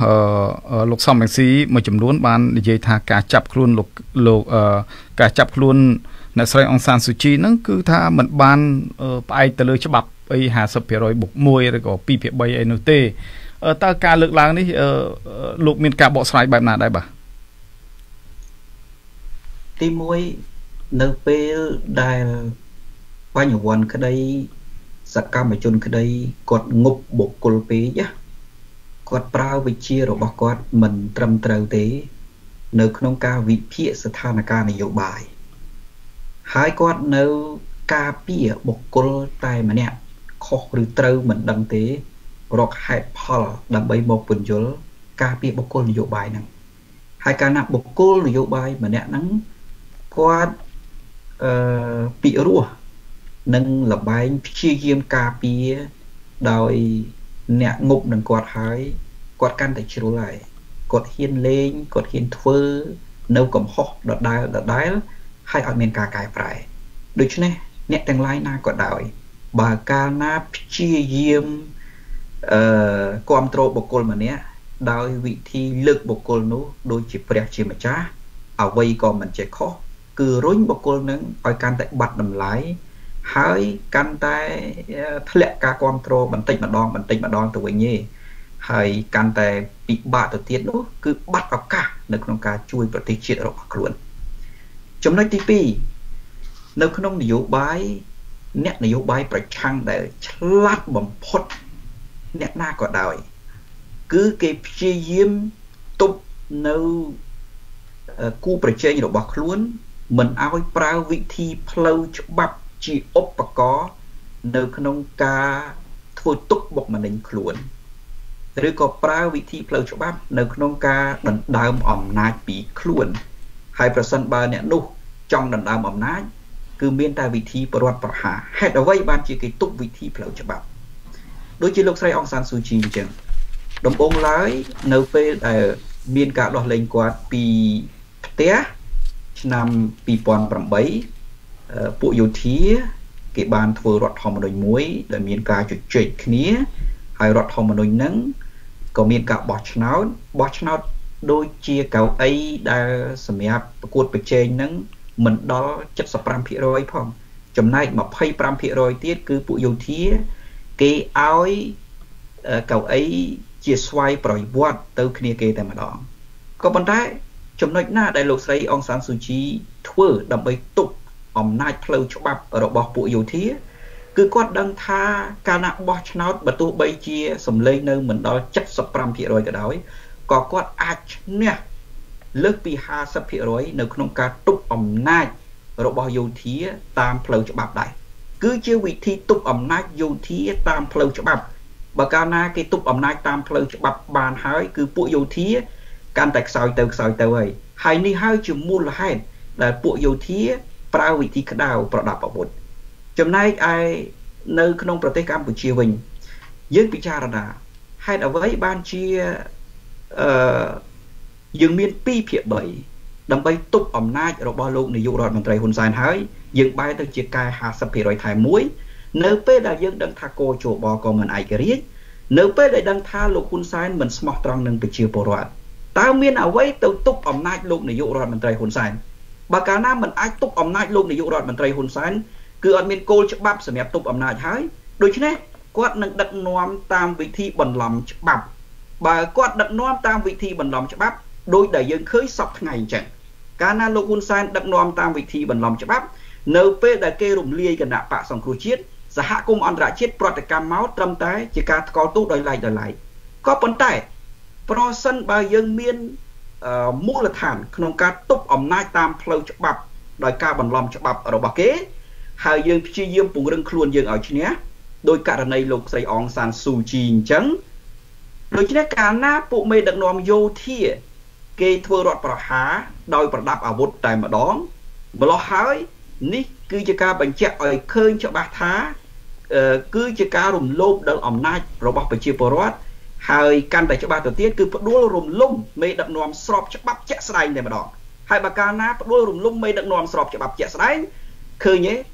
ប្រតិកម្មរបស់អង្គការសហប្រជាជាតិរបស់សហគមន៍អន្តរជាតិ គឺមានការកោះប្រជុំដល់ក្រុមប្រឹក្សាអចិន្ត្រៃយ៍របស់អង្គការសហប្រជាជាតិតែម្ដងដូចជាករណីកម្ពុជាឆ្នាំ1997អញ្ចឹងប្រជុំក្រុមប្រឹក្សាអចិន្ត្រៃយ៍របស់អង្គការសហប្រជាជាតិហើយនៅពេលដែលលក្ខខណ្ឌមេត្រានាំព្រះអង្គម្ចាស់នរោត្តមរណរដ្ឋទៅចូលរួមការបោះឆ្នោតនៅប្រទេសកម្ពុជាគឺមិនចាំបាច់សុំលោកនាយករដ្ឋមន្ត្រីហ៊ុនសែនបើកផ្លូវអីទេពីព្រោះអីពីព្រោះព្រះអង្គម្ចាស់នរោត្តមរណរដ្ឋគឺជាមេដឹកនាំស្របច្បាប់ដោយករណីអង្គសានស៊ូជីអញ្ចឹងណា គាត់បានคล้ายទៅជាមេដឹកនាំស្របច្បាប់ទៅហើយបើគេធ្វើរដ្ឋប្រហារដោយកម្លាំងយោធាគឺជាការបំពានច្បាប់ទាំងស្រុងនៅពេលដែលបំពេញច្បាប់ទាំងស្រុងបែបនេះគឺមានការប្រកាសប្រជុំក្រុមប្រឹក្សាសន្តិសុខអង្គការសហប្រជាជាតិដូច្នេះណាមិនចាំបាច់លោកស្រីអង្សានស៊ូជីទៅទៅសេសបុតទៅប្រធានាធិបតីនៃសហរដ្ឋអាមេរិកទៅរដ្ឋមន្ត្រីការបរទេសសហរដ្ឋអាមេរិកទៅប្រទេសណាទេគឺឈ្នះនយោបាយការទូតដែលគេធ្វើអន្តរាគមន៍ផ្ទាល់តែម្ដងរហូតទៅដល់ អំណាចកម្ពុជានៃក្រមប្រឹក្សាសន្តិសុខអង្គការបានន័យថាបានន័យថាមិនបាច់ទៅសុំគេទេគឺគេមកជួយតែម្ដងមិនចឹងលោកកឹមសុខបាទចំណែកប្រទេសកម្ពុជាយើងឃើញទេយើងដឹងថានោះជាវិធីរដ្ឋប្រហារប៉ុន្តែរដ្ឋប្រហារដោយបំភ្លៃច្បាប់គេអាចបំភ្លៃច្បាប់គេអាចបន្លំច្បាប់គេរំលាយគណៈបកសង្គ្រោះជាតិជាមុនហើយច្បាប់ខ្លះដូចជាច្បាប់កោជបក៏គណៈបកសង្គ្រោះជាតិហ្នឹងជាអ្នកចូលរួមកែជាមួយនឹងគណៈបកប្រជាជនកម្ពុជាដែរដូច្នេះលោកហ៊ុនសែនគាត់សូត្រស្អីក៏ច្បាប់ តាមវិធីច្បាប់ ហើយបំភ្លៃច្បាប់ហើយអង្គការច្បាប់របស់ប្រទេសកម្ពុជាជាអ្នកបកស្រាយទៅទៀតដូច្នេះអង្គការសហប្រជាជាតិសហគមន៍អន្តរជាតិគេពិបាកនឹងដាក់ទម្ងន់ទៅលើប្រទេសកម្ពុជាដែលដឹកនាំដោយលោកនាយករដ្ឋមន្ត្រីហ៊ុនសែនខ្លាំងណាស់សំទោសដាក់ទម្ងន់ទៅលើលោកនាយករដ្ឋមន្ត្រីហ៊ុនសែនដែលកំពុងតែរំលោភអំណាចខ្លាំងណាស់ដោយសារអីដោយសារវាមាននៅក្របខ័ណ្ឌច្បាប់ដែលលោកហ៊ុនសែនយកជាលេស ក្នុងការបំភ្លឺគេបានពីដំណាក់កាលមួយទៅដំណាក់កាលមួយបើមិនជឿណាប្រសិនបើគណៈបកសង្គ្រោះជាតិមាន2ភាគ3ហើយពឹងរៀបចំកម្លាំងយកឈ្នះដោយនៅប្រទេសភូមាហើយហ៊ានតែធ្វើរដ្ឋប្រហារដោយកម្លាំងប្រដាប់អាវុធដោយនៅភូមាណាគឺគេធ្វើប្រតិកម្មខ្លាំងតែម្ដងដល់កិច្ចប្រជុំក្រុមប្រឹក្សាសន្តិសុខអង្គការសហប្រជាជាតិម្ល៉េះហើយពួកអ្នកដែលគាត់មិនយល់អំពីស្ថានភាពនយោបាយហ្នឹងគាត់នៅតែការពារនៅកំហុសរបស់មេដឹកនាំនយោបាយរបស់គាត់ យើងគិតមើលទៅមើលកម្ពុជាមានរបស់ដែលទប់អំណាចរបស់លោកនាយករដ្ឋមន្ត្រីហ៊ុនសែនបានហើយគឺ50សំទោសគឺ2ភាគ3ដែលជាមូលដ្ឋានទប់អំណាចរបស់លោកនាយករដ្ឋមន្ត្រីហ៊ុនសែនមិនអោយធ្វើអ្វីតាមចិត្តដែលគាត់ចង់បានរបៀបបំភ្លៃច្បាប់គាត់អាចធ្វើបានខ្លះប៉ុន្តែមិនបាន100%ទេដូច្នេះនៅទប់គាត់បាន ប៉ុណ្ណឹងយើងបែរទៅជាលើកអំណាចឲ្យលោកហ៊ុនសែនបំភ្លៃគ្រប់បែបយ៉ាងបានតាមរយៈ50%ថែមមួយក៏ប៉ុន្តែលោកស្រីអងសានស៊ូជីវិញណាគាត់អត់មានមូលដ្ឋានអីទេហើយគាត់ព្យាយាមប្រឹងសម្របសម្រួលដើម្បីទប់ជាមួយនឹងមេដឹកនាំយោធាណាគាត់សម្របសម្រួលដោយវិធីណាគឺគាត់ព្យាយាមនៅក្នុងការរកវិធីបោះឆ្នោតមួយសុកចិត្តលើក25%ឲ្យពួកយោធាកៅអី25%ឲ្យពួកយោធា ហើយយកតែ75%មកប្រកួតប្រជែងដោយគាត់ដឹងថាកាលណាគាត់ប្រកួតប្រជែងទៅគឺគាត់អាចបានកៅអីក្នុងការអឺទប់អំណាចរបស់ពួកយោធាបានហើយហើយគាត់ធ្វើបានមែនឃើញគាត់ធ្វើបានមែននិយាយត្រូវពួកយោធាគឺអឺកាលណាដល់ដំណាក់កាលតួច្រកខ្លាំងគឺប្រើកម្លាំងបាយនៅក្នុងការផ្ដួលរំលំហើយ ក៏ប៉ុន្តែកាលណាប្រើកម្លាំងបាយផ្ដួលរំលំបែបហ្នឹងគឺប្រតិកម្មដូចដែលយើងឃើញពីក្រមប្រឹក្សាសន្តិសុខអង្គការសហជីវជាតិតែម្ដងដូច្នេះយើងតោងនាំគ្នាយល់កុំតោងនាំគ្នាបន្លំបាទមានការលើកឡើងថាលោកកឹមសុខាមិនមិនគួរធ្វើនយោបាយតិចតិចដែលដូចជាការចង់សម្របសម្រួលជាមួយលោកហ៊ុនសែនដើម្បីឲ្យលោកហ៊ុនសែនលើកលែងទោសឲ្យនឹងទេ គឺថាគួរតែធ្វើនយោបាយ គឺថាតទល់ចេញមុខតទល់ជាមួយលោកហ៊ុនសែនតែម្ដងតើបើសិនជាលោកកឹមសុខាធ្វើដូច្នេះតើវាអាចជាជោគជ័យសម្រាប់គណៈបពប្រឆាំងតមូលបានដែរទេលោកកឹមសុខនៅក្នុងបរិបទនយោបាយដូច្នេះតែពិតពាក្យថាតទល់គឺត្រឹមត្រូវហើយប៉ុន្តែពាក្យថាតទល់នឹងមិនមែនមានន័យថាត្រូវតែក្តៅគ្រប់ទៅពេលទេ ពាក្យថាតទល់នឹងគឺមានចំហឲ្យច្បាស់ថាតទល់របៀបណា តិចនៅពេលណាក្តៅនៅពេលណា ហើយរបៀបតទល់ទៀតសោតដើម្បីអាចតទល់នឹងគេបាន គឺយើងពង្រួបពង្រួមផ្ទៃក្នុងយើងសិនទី1ទី2ដើម្បីអាចតទល់នឹងគេបានកាលណាយើងពង្រួបពង្រួមផ្ទៃក្នុងហើយយើងបង្កើនការជឿជាក់ហើយនឹងសេចក្តីសង្ឃឹមទៅដល់ប្រជាពលរដ្ឋអាហ្នឹងបានយើងប្រមូលសម្លេងនឹងតទល់បាន ចំណែកសពថ្ងៃខ្ញុំឃើញ គេសូត្រតែពាក្យតទល់តទល់តទល់ហើយឲ្យលោកកឹមសុខាចេញមកតែម្នាក់ឯងនឹងខាងក្រៅទៅវាដូចជាឆ្លុះដែលគេចាប់បោកពេលណាក៏បានណាចេញមកខាងក្រៅម្នាក់ឯងហ្នឹងនៅពេលដែលកម្លាំងយុទ្ធសាស្ត្រនិងកម្លាំងសកម្មដោយកងទ័ពសកម្មអញ្ចឹងណារបស់គណៈបកសង្គ្រោះជាតិនាំគ្នាបបួលចេញអស់ហើយហ្នឹងហើយទុកឲ្យមេតបម្នាក់នៅតទល់តទល់យ៉ាងម៉េចក្នុងក្បួនសង្គ្រាមក៏វាអត់មានអញ្ចឹងដែរ ក្នុងក្បួនប្រជាធិបតេយ្យក៏វាអត់មានអញ្ចឹងដែរក្នុងក្បួនប្រជាធិបតេយ្យដូចដែលខ្ញុំបញ្ជាក់ខាងដើមអបាញ់មិញហ្នឹងគឺពង្រួមផ្ទៃក្នុងប្រមូលការជឿជាក់គ្នានៅក្នុងផ្ទៃក្នុងហើយធ្វើយុទ្ធសាស្ត្ររួមបង្កើតការជឿជាក់ទៅដល់ប្រជាពលរដ្ឋទើបយើងអាចនិយាយអំពីការតទល់របៀបណាបានมันអាចប្រាប់មនុស្សម្នាក់ឲ្យទៅតទល់តទល់នឹងរត់ក្រោះតទល់នឹងកំភ្លើងអឺដោយសកម្មភាពមនុស្សម្នាក់ទៅមិនរួចយើងថាមិនមែនម្នាក់ទេលោកកឹមសុខាចេញមកនឹងមានមនុស្សជាច្រើនទៀតមាន ប្រមាណ100នាក់ថែមទៀតក៏ប៉ុន្តែខ្ញុំសួរទៅវិញចេះកាលណាគណៈបកសង្គ្រោះជាតិកម្លាំងផ្ទៃក្នុងនឹងមិនរួបរวมគ្នាឧបមាចុះឧបមាថាលោកកឹមសុខាចេញតតចុះចុះអ្នកនៅខាងក្រៅនិយាយសារនយោបាយអីតើនិយាយសារនយោបាយថាកឹមសុខានៅតែស្មោះត្រង់នឹងលោកសំរងស៊ីហើយកំពុងតែចេញតវ៉ាផ្ដួលហ៊ុនសែនឬក៏សារនយោបាយអីផ្សេងទៀត បើសិនជាប្រើសារនយោបាយតែប៉ុណ្ណឹងណាដូចចងលោកកឹមសុខាទៅនឹងរត់ក្រោះចម្បាំងអញ្ចឹងវាអាចទៅរួចទេអញ្ចឹងបានជាខ្ញុំបញ្ជាក់ថាបើចង់តទល់ធ្វើប៉ុន្តែយើងធ្វើយុទ្ធសាស្ត្រយុទ្ធសាស្ត្រកម្លាំងយុទ្ធសាស្ត្រវោហាសាស្ត្រនយោបាយមិនមែនផ្ដួលមិនមែនចាប់ចងមិនមែនទៅរំលំក៏ប៉ុន្តែការប្រើសិទ្ធិតាមរដ្ឋធម្មនុញ្ញ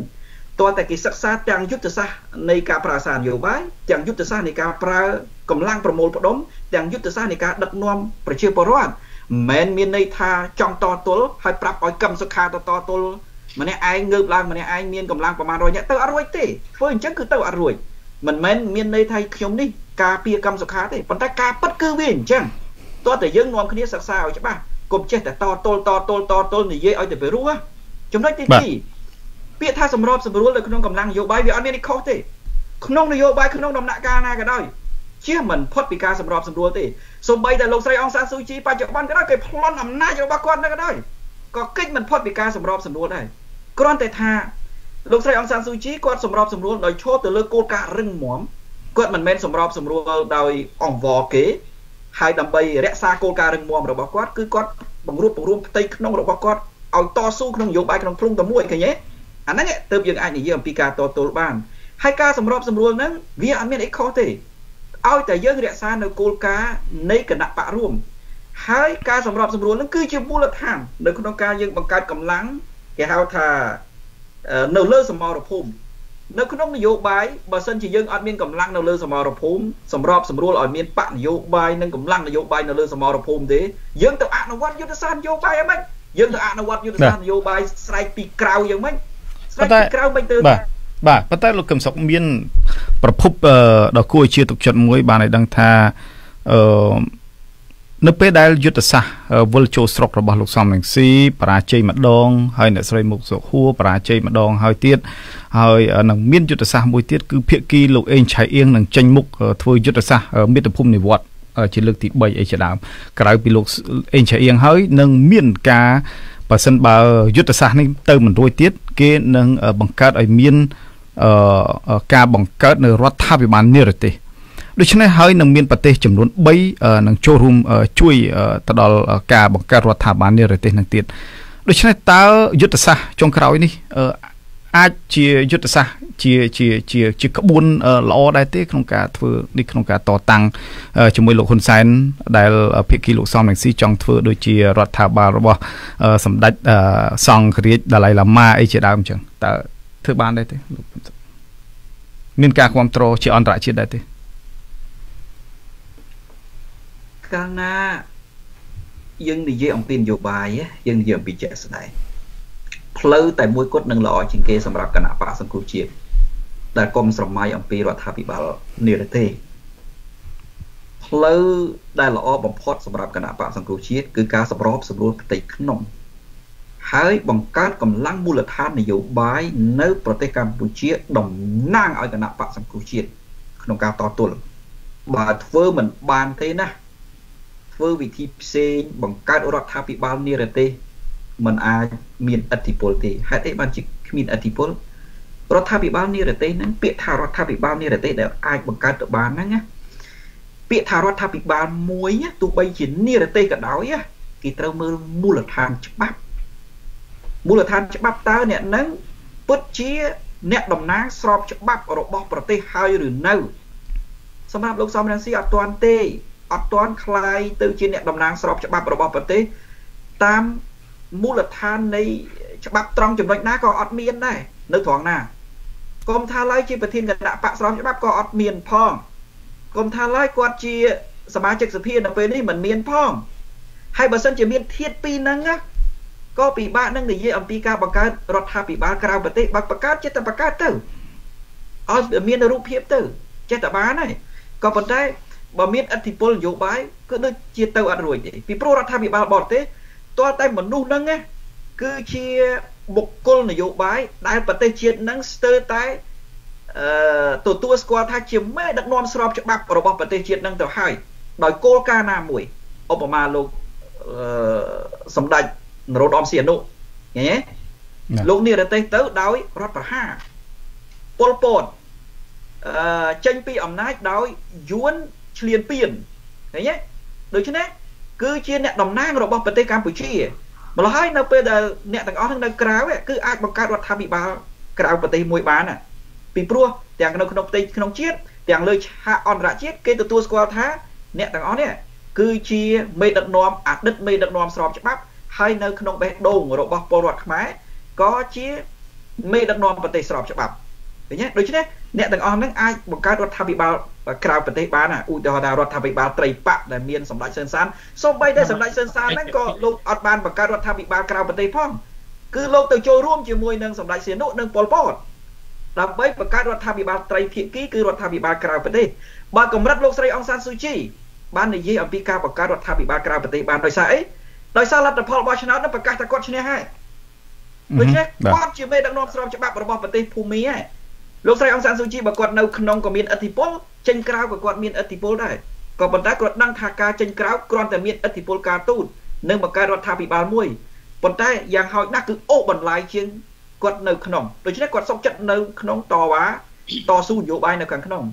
គាត់អាចបង្កើតរដ្ឋាភិបាលក្រៅប្រទេសមួយដែលមានការគ្រប់គ្រងពេញពិភពលោកតែម្ដងលើកលែងតែប្រទេសកុម្មុយនីសប្រមាណទេ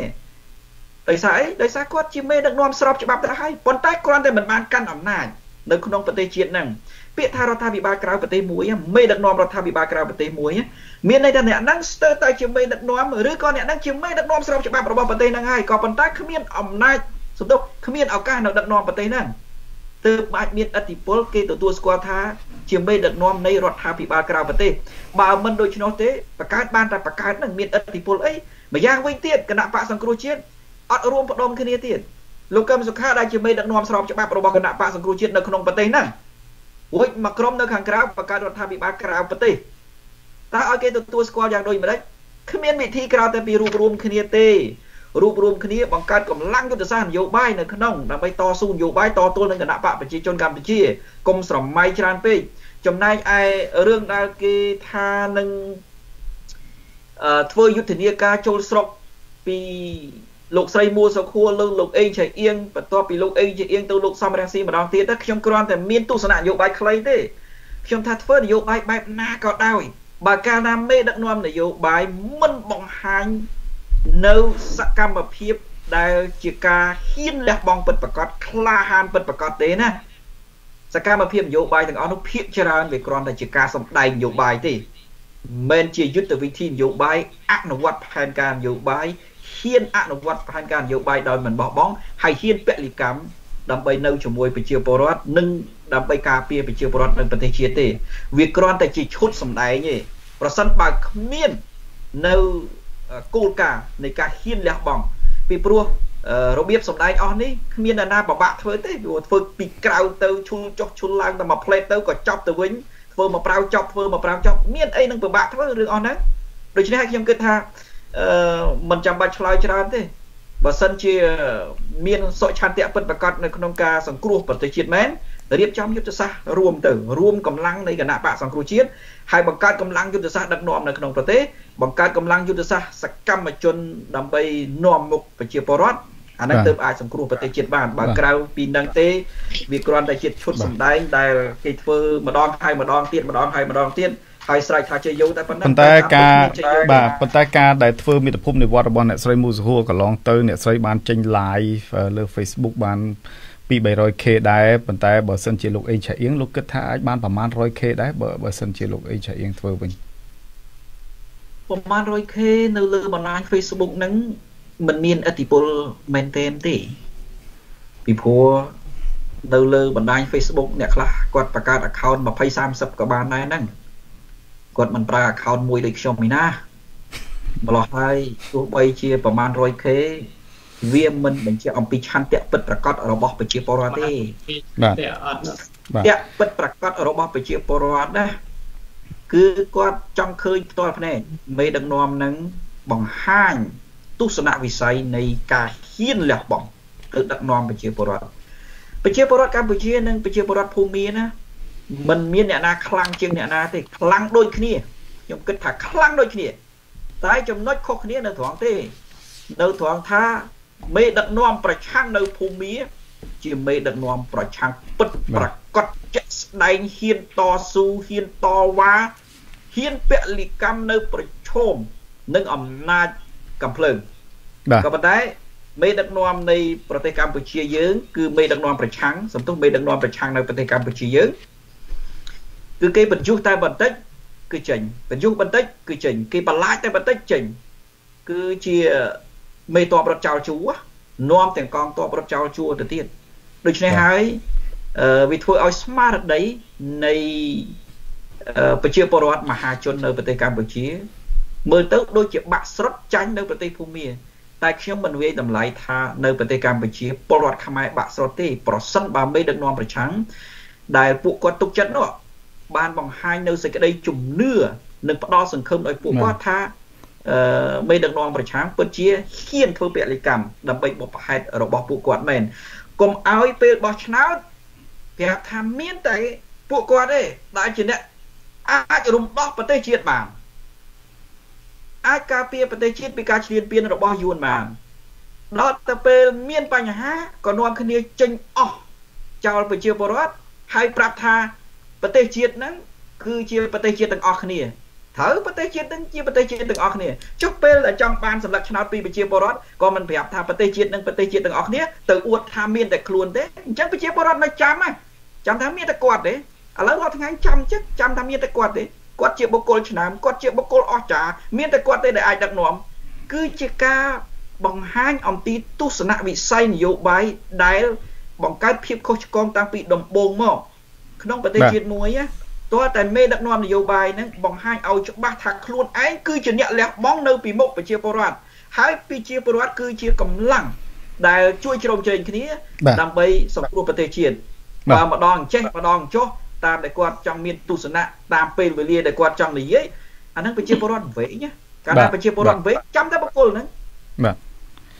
បាទអរគុណច្រើនលោកកឹមសុខលោកមីសវណ្ណរាក្រុមអ្នកសង្កេតការអន្តរជាតិខ្លះថាការទម្លាក់រដ្ឋាភិបាលស៊ីវិលនៅភូមាគឺជាការធ្វើតេស្តទៅលើគោលនយោបាយការបរទេសរបស់លោក Joe Biden ដែលជាប្រធានាធិបតីថ្មីរបស់សហរដ្ឋអាមេរិកអឺចំណុចនេះតើលោកអឺមានការយល់ស្របដែរទេបាទ អឺអានឹងវាជាការពិតសឹងតែទៅ70ទៅ75%នៃគោលនយោបាយរបស់ជូបៃដិននេះគឺគាត់បន្តពីបារ៉ាក់អូបាម៉ាមកពីឆ្នាំ2013មកគឺថា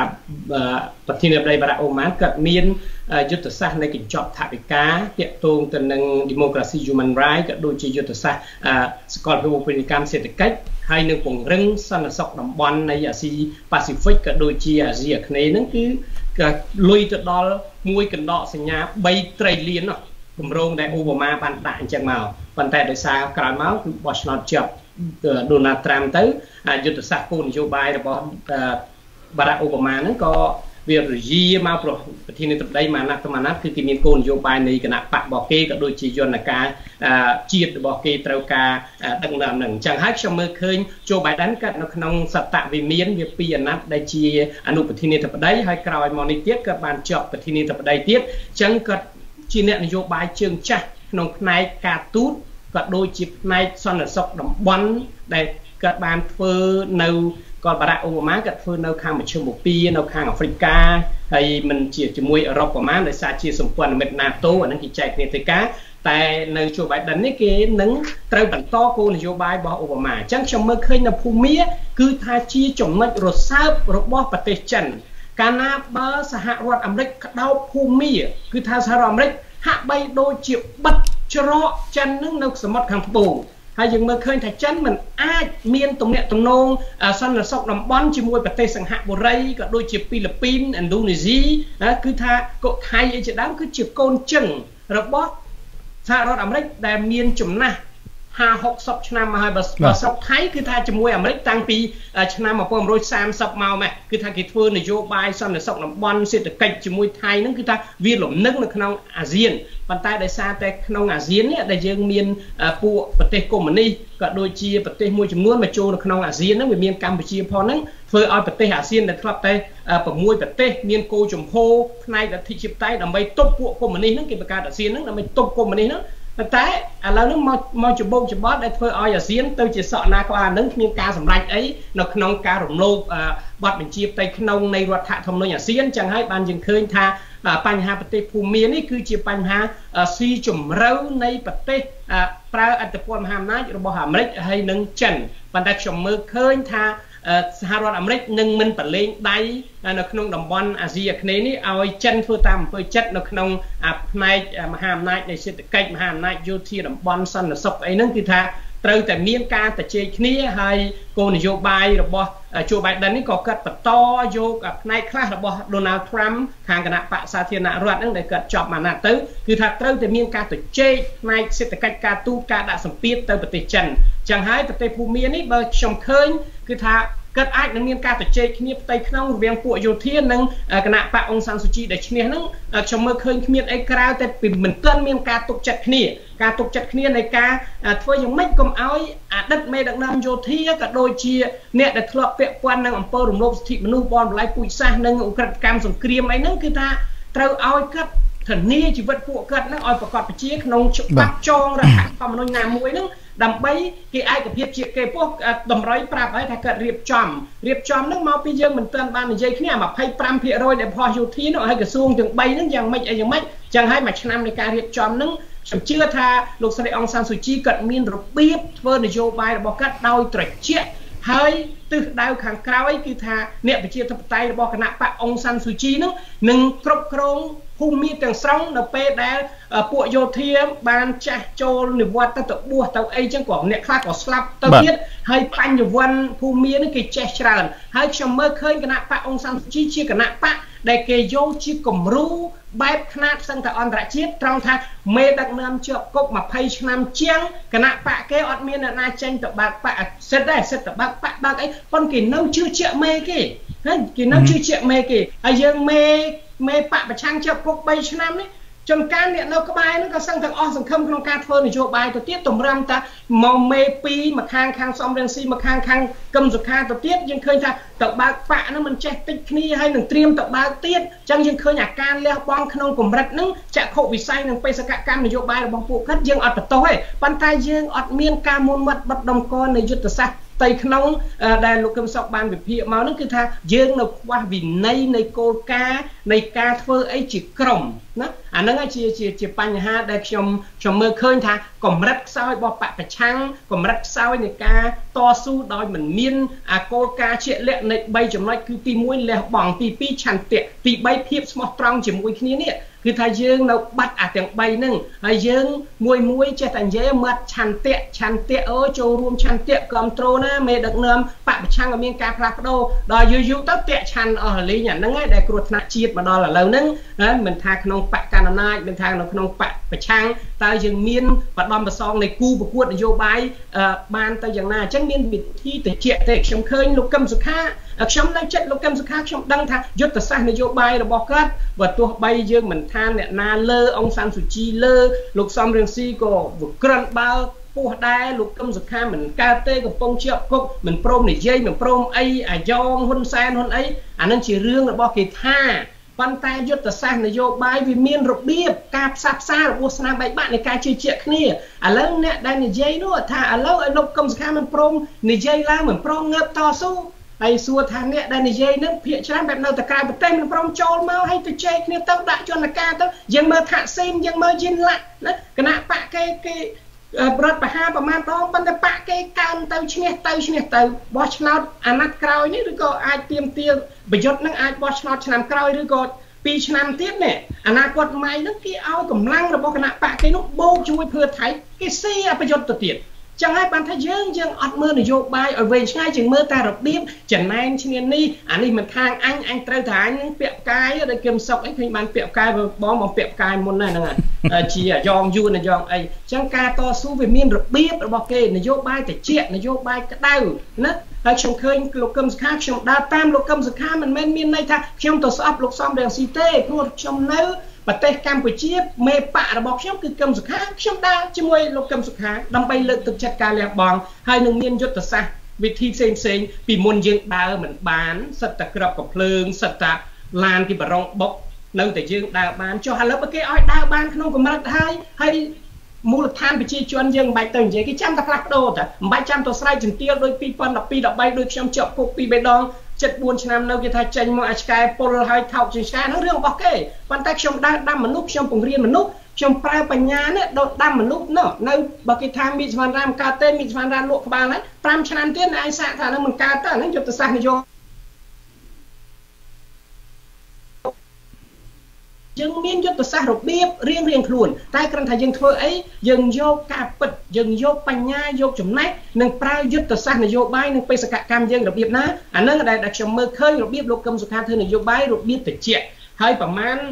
ប្រហែលខែកន្លងមកនេះខ្ញុំមើលឃើញបរិយាកាសនយោបាយវាកាន់តែឈានទៅរកការអាចជជែកគ្នាបានមិនថាសហគមន៍អន្តរជាតិមិនថាបកកាន់អំណាចមិនថាលោកកឹមសុខា ហើយយើងមើលការដែលទូតគេមកងាកមកងាកមកនេះសួរថាមកសួរសុខទុក្ខអីក៏វិញឹកយ៉ាងម៉េចសុខភាពហ្នឹងក៏វិញឹកយ៉ាងម៉េច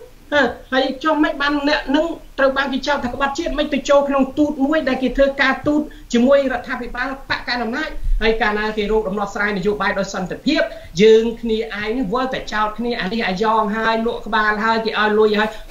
ឲ្យចាំណាកុំមុនីពួកគណៈបកប្រជាជនបកកណ្ដាលអំណាចនេះគឺថា កាលណាបើជាប់ចំណងគេហើយគេអត់ទុកឲ្យយើងនៅស្រួលទេគេបញ្ចេញឯកសារគេធ្វើគ្រប់សពបែបយ៉ាងមិនឲ្យយើងជោគជ័យទេចឹងបានថាកុំរៀនតែស្រែកឥតប្រយោជន៍មកចូលមកធ្វើការទៅណាយើងប្រើកម្លាំងអបជីវរដ្ឋជឿជាក់ចឹងបោះឆ្នោតអាណត្តិនេះបើយើងមិនជាប់វាអាណត្តិក្រោយអាណត្តិក្រោយមិនជាប់យើងធ្វើជារូបមន្តទុកឲ្យអ្នកជំនាន់ក្រោយដោយផាក់ស៊ីនដោយ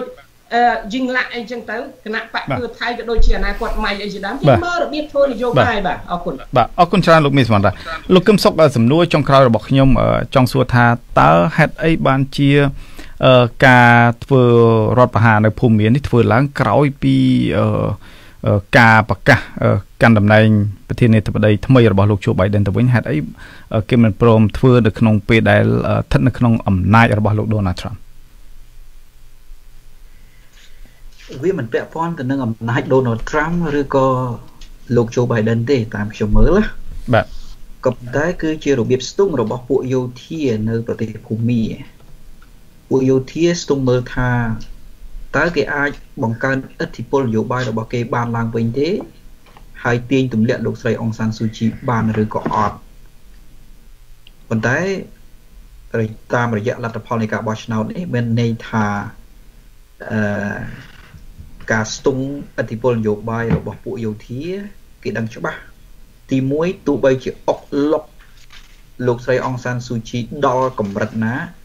ក៏នៅមិនអាចបន្ថយប្រជាប្រិយភាពរបស់លោកស្រីអង្សានស៊ូជីបានដែរមិនមែនជារឿងធម្មតាទេណាគេអុកលុករឿងករណីរ៉ូហីងយ៉ាអឺរហូតទៅដល់នាំលោកស្រីអង្សានស៊ូជីឡើងទៅតុលាការយុតិធធអន្តរជាតិ ICJ នៅប្រទេសហូឡង់ជាដើម គេអុកឡុកគ្រប់បែបយ៉ាងទាំងអស់នៅក្នុងប្រទេសក៏ប៉ុន្តែលោកស្រីអង្សានស៊ូជីនៅតែមានសម្លេងនៃការគ្រប់គ្រង83%នៅទូទាំងប្រទេសហើយទាំងអឺសភាជាន់ខ្ពស់និងសភាតំណាង ដែលមានសមាជិក664ហ្នឹងហើយដែលពួកយោធាគេកាត់យករហូតទៅដល់ដូចជា166ហើយ នៅសល់ប្រកួតប្រជែងហ្នឹងដូចជាតែ476ទៀតទេហើយសមាជិកសភាខ្លះវាមានរបៀបតែងតាមផ្សេងផ្សេងទៀតទៅណាបាទនៅក្នុងចំណោម400មិនមែន66ទេ476ហ្នឹងលោកស្រីអង្សានស៊ូជីគាត់យកបាន396ហ្នឹងមានន័យថាក្នុងចំណោមសមាជិកសភាទាំងជាន់ខ្ពស់ទាំងជាន់ទាប600ជាងគណៈបករបស់លោកស្រីអង្សានស៊ូជីយកបាន400 ដោយសម្លេងគ្រប់គ្រងជាក់ស្ដែងណាដូច្នេះវាស្ទើរតែថាប្រជាពលរដ្ឋភូមិនៅទូទាំងប្រទេសហ្នឹងអឺបោះឆ្នោតឲ្យលោកស្រីអង្សានស៊ូជីស្ទើរតែទាំងអស់ហ្នឹងសូម្បីតែពួកយោធានេះគឺជាការស្ទុះមួយដែលពួកយោធាដឹងថាអុកឡុកបណ្ណាក៏លោកស្រីអង្សានស៊ូជីខ្លាំងណាទី2សម្លុតយ៉ាងណាក៏លោកស្រីអង្សានស៊ូជីគាត់នៅតែរឹងមាំក្នុងនយោបាយស្របទិសច្បាប់យើងមើលពួកយោធាកាន់ក្រសួងមហាផ្ទៃ កាន់ក្រសួងការពារជាតិកាន់ក្រសួងព្រំដែនកាន់កងទ័ពទាំងអស់ក៏ប៉ុន្តែទីបំផុតទៅលោកស្រីអង្សានស៊ូជីទាញបានសមានចិត្តពួកយោធាកាន់តែច្រើនទៅច្រើនទៅពួកយោធាជាន់ទាបណាដូច្នេះពួករដ្ឋាភិបាលយោធាភូមិសំទុះពួកក្រមយោធាភូមិគេដឹងបើសិនជាបន្តឲ្យលោកស្រីអង្សានស៊ូជីនៅមានអំណាចទោះបីជាអំណាចស៊ីវិលនឹងក៏ដោយ គឺអាចនឹងរបេះ មេកម្លាំងប្រដាប់អាវុធនៃយោធាហ្នឹងទៅគ្រប់គ្រងលោកស្រីអង្សានជូជីកាន់តែច្រើនទៅច្រើនទៅពីព្រោះទំនោររបស់ប្រជាពលរដ្ឋកាន់តែទុកចិត្តលើលោកស្រីអង្សានស៊ូជីម្ល៉េះហើយតែខ្ញុំគិតថាបើយើងមើលទស្សនវិជ្ជានយោបាយពិភពលោកឬតំបន់វាអាចទៅជាការសាកល្បងក៏ប៉ុន្តែខ្ញុំមិនគិតថាវាជារឿងសាកល្បងពេកនោះទេបាទតែវាជារឿងនៃការដោះស្រាយបញ្ហាអំណាចពួកយោធាច្រើនជាងចំណុចទី2ដែលវាពាក់ព័ន្ធទៅនឹងនយោបាយការបរទេស វាពាក់ព័ន្ធទៅនឹងប្រយោជន៍ចិនច្រើនជាងវិញប្រយោជន៍ចិនទី1នៅមុនការបោះឆ្នោតលោកស្រីស៊ូជីគាត់បង្ហាញអំពីទំនោរនៃការអភិវឌ្ឍសេដ្ឋកិច្ចទៅរកពួកប្រចាំប្រទេសអឺរ៉ុបនិងសហរដ្ឋអាមេរិកហើយទំនោររបស់គាត់នេះគាត់មិនវ័យប្រហារចិនទេគាត់នៅតែធ្វើជាមិត្តរបស់ចិនអញ្ចឹងប៉ុន្តែគាត់បង្ហាញទំនោរនៃទំនាក់ទំនងកាន់តែគៀកទៅជាមួយនឹងពួកប្រចាំប្រទេសដើម្បីរកការអនុគ្រោះពន្ធ ខាងផ្នែកពាណិជ្ជកម្មជាដើមហើយរឿងនេះមានការគ្រប់គ្រងខ្លាំងពីប្រជាពលរដ្ឋដូច្នេះហើយវាបាត់នៅផលប្រយោជន៍សេដ្ឋកិច្ចរបស់ប្រទេសចិនដែលមានទំនាក់ទំនងជាមួយនឹងពួកយោធាដូចជាក្នុងគម្រោងធនធានធម្មជាតិអឺក្នុងគម្រោងវិនិយោគធំធំដែលគេធ្លាប់ធ្វើជាមួយប្រទេសចិនណាខ្ញុំគ្រាន់តែឧទាហរណ៍មួយឯងគ្រាន់តែរឿងប្រេងដែលលោកមីសវណ្ណារានិយាយខាងដើមបំបញ្ញមិញហ្នឹងមិនមែនជារឿងធម្មតាទេណា អឺប្រទេសចិនបានធ្វើបំពុងបង្ហូរប្រេងពីកំពង់ផែនៃប្រទេសភូមាទៅកាន់ប្រទេសចិនអឺដូចជាចែកចាយទៅតំបន់លូស៊ីតំបន់បាវសានតំបន់ដាលីគុនមីងដែលជាតំបន់អភិវឌ្ឍធំរបស់ប្រទេសចិនហ្នឹងណាបាទគឺធ្វើបង្ហូរប្រេងហ្នឹងបំពង់បង្ហូរប្រេងហ្នឹងមានប្រវែងរហូតដល់ជាង2000គីឡូម៉ែត្រដល់ ហើយបំពង់បង្ហូរប្រេងហ្នឹងគេធ្វើរួចហើយហើយបរិមាណប្រេងដែលគេបង្ហូរហ្នឹងប្រមាណ10%នៃការនាំចូលប្រេងទៅប្រទេសចិនទាំងមូលដូច្នេះទំហំនឹងវាធំណាស់សម្រាប់ការអភិវឌ្ឍរបស់ប្រទេសចិនហើយប្រទេសដែលមានសក្តានុពលវិស័យឧស្សាហកម្មបែបនេះគឺត្រូវការប្រេងជាចាំបាច់ហើយប្រេងដែលបង្ហូរទៅតាមអឺប្រទេសភូមានឹងចេញពីណាខ្លះមែនទែនប្រសិនបើប្រទេសចិនបាត់ នៅសក្តានុពលសេដ្ឋកិច្ចឬក៏ទំនាក់ទំនងសេដ្ឋកិច្ចជាយុទ្ធសាស្ត្រជាមួយភូមាណាគឺប្រេងដែលនាំពីមជ្ឈមបូព៌ាក្តីដូចជាអារ៉ាប៊ីសាអូឌីតនិងប្រទេសជុំវិញនោះនាំពីប្រទេសអឺអាមេរិកខាងត្បូងក្តីដូចជានៅ Venezuela ជាដើមដែលចិននាំប្រេងចូលណាគ្រាន់តែឆ្លងកាត់ South Atlantic Ocean បានន័យថាមហាសមុទ្រ Atlantic ខាងត្បូងភ្ជាប់ទៅមហាសមុទ្រឥណ្ឌាហើយតទៅប្រទេសភូមាតែម្ដង កំពង់ផែប្រទេសភូមាដូច្នេះបើដល់កំពង់ផែប្រទេសភូមាគឺតែជាង2000គីឡូម៉ែត្រការ៉េ2000គីឡូម៉ែត្រទៀតទេដែលគេបង្ហូរប្រេងចូលទៅត្រង់ទៅចូលប្រទេសចិនតែម្ដងប៉ុន្តែប្រសិនបើបាត់ភូមាណាចិនត្រូវបញ្ជូនប្រេងហ្នឹងទៅចន្លោះកោះម៉ាឡាកាយើងមើលទៅផែនទីណាពីសមុទ្រអឺឥណ្ឌាទៅចន្លោះសមុទ្រម៉ាលីកាពីសមុទ្រម៉ាឡាកាទៅកាត់សមុទ្រចិនខាងត្បូងទម្រាំទៅដល់ទីក្រុងហុងកុង ហើយពីទីក្រុងហុងកុងហ្នឹងទម្រាំទៅដឹកជញ្ជូនប្រេងទៅដល់តំបន់មួយចំនួនដូចជាគុនមីនឹងឆ្ងាយណាស់រាប់ម៉ឺនគីឡូម៉ែត្រការ៉េបើយើងគិតទៅប្រមាណជាគុណនឹង3បើសិនជាបង្ហូរប្រេងចម្ងាយផ្លូវណាបើយើងបង្ហូរប្រេងពីកំពង់ផែនៃប្រទេសភូមាទៅកាន់ប្រទេសចិនតែម្ដងដូច្នេះវាជាផលប្រយោជន៍ធំបំផុតអំពីវិស័យប្រេងរបស់អឺប្រទេសចិនដែលត្រូវមានទំនាក់ទំនងជាមួយនឹងប្រទេសភូមា ម្ល៉េះហើយចិនមិនអាចចោលប្រទេសភូមាបានទេដូច្នេះវាអាចជា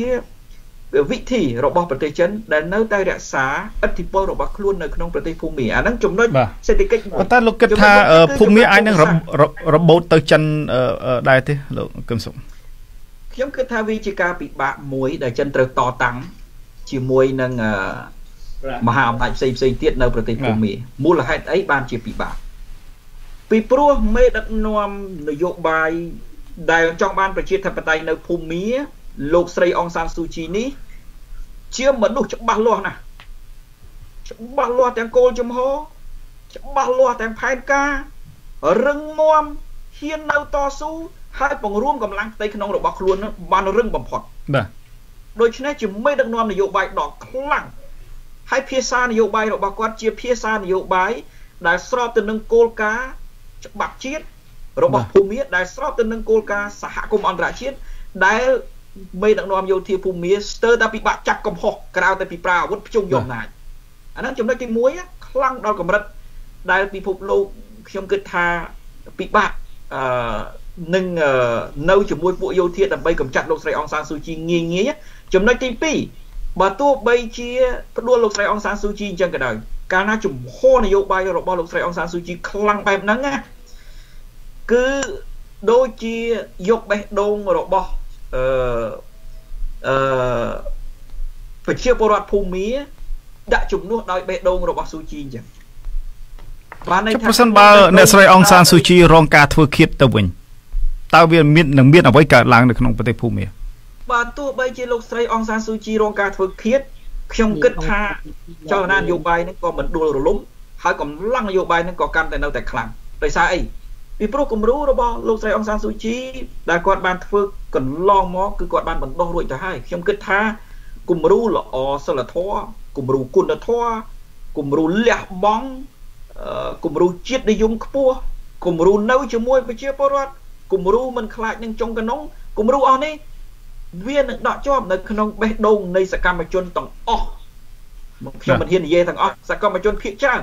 នៃគណៈបកសម្ព័ន្ធជាតិដើម្បីប្រជាធិបតេយ្យរបស់លោកស្រី អងសានស៊ូជីទៅហើយដូចជាឪពុករបស់លោកស្រីអងសានស៊ូជីអញ្ចឹងពេលដែលគាត់ស្លាប់ទៅពីមុនពេលដែលឪពុករបស់គាត់នៅគេផ្អែកទៅលើឪពុកគាត់ទេចុះបើឪពុកគាត់បាត់ទៅនៅមានកូនស្រីគ្មានអ្នកណាដែលអាច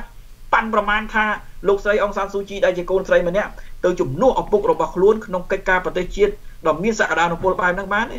ដូច្នេះអត់ពីលោកស្រីអងសានស៊ូជីបើទោះបីជាគ្មានកូនគាត់ក៏មានមេដឹកនាំផ្សេងផ្សេងទៀតក៏មានយុវជនចំនួនក្រោយផ្សេងទៀតដែលគេបានបណ្ដុះ បណ្ដុះនៅស្មារតីជាតិដែលហ៊ានធ្វើពលកម្មពលកម្មនិងលះបង់មិនខ្លាចណាម្ល៉េះហើយបេះដូងពលកម្មនិងស្មោះត្រង់ហ្នឹងចំពោះជាតិហ្នឹងគឺវាបានផ្ទេទៅដល់ប្រជាពលរដ្ឋភូមិហើយប្រជាពលរដ្ឋភូមិហ្នឹងគឺយ៉ាងតិច80%ដែលមានបេះដូងហ្នឹងពីព្រោះអ្នកគ្រប់គ្រងលោកស្រីអង្សានស៊ូជីមកដល់កម្រិតដែលគេធ្វើទុកបុកម្នេញគ្រប់បែបយ៉ាងលៀបស្រីអង្សានស៊ូជីដោយពួកមេយោធាតែប៉ុណ្ណឹងហើយនៅតែមានសម្លេងគ្រប់គ្រង73%នៅទូទាំងប្រទេសទៀតហ្នឹង ដូច្នេះហើយកម្លាំងយោបាយខ្លាំងបាទបាទបាទ83សុំទោសបាទអរគុណច្រើនហើយចំណុចចំណុចដែលសំខាន់ដែលខ្ញុំមើលឃើញណាចំណុចដែលសំខាន់ដែលដែលអឺពួកមេយោធានៃប្រទេសភូមាធ្វើរដ្ឋប្រហារលោកស្រីអងសានស៊ូជីនេះក៏មានចំណុចយុទ្ធសាស្ត្រអឺភូមិសាស្ត្រនយោបាយដែរយុទ្ធសាស្ត្រភូមិសាស្ត្រនយោបាយអំបញ្ញមិញយើងនិយាយអំពីសេដ្ឋកិច្ចណា យុទ្ធសាស្ត្រភូមិសាស្ត្រនយោបាយសេដ្ឋកិច្ចប៉ុន្តែមានយុទ្ធសាស្ត្រភូមិសាស្ត្រនយោបាយសន្តិសុខ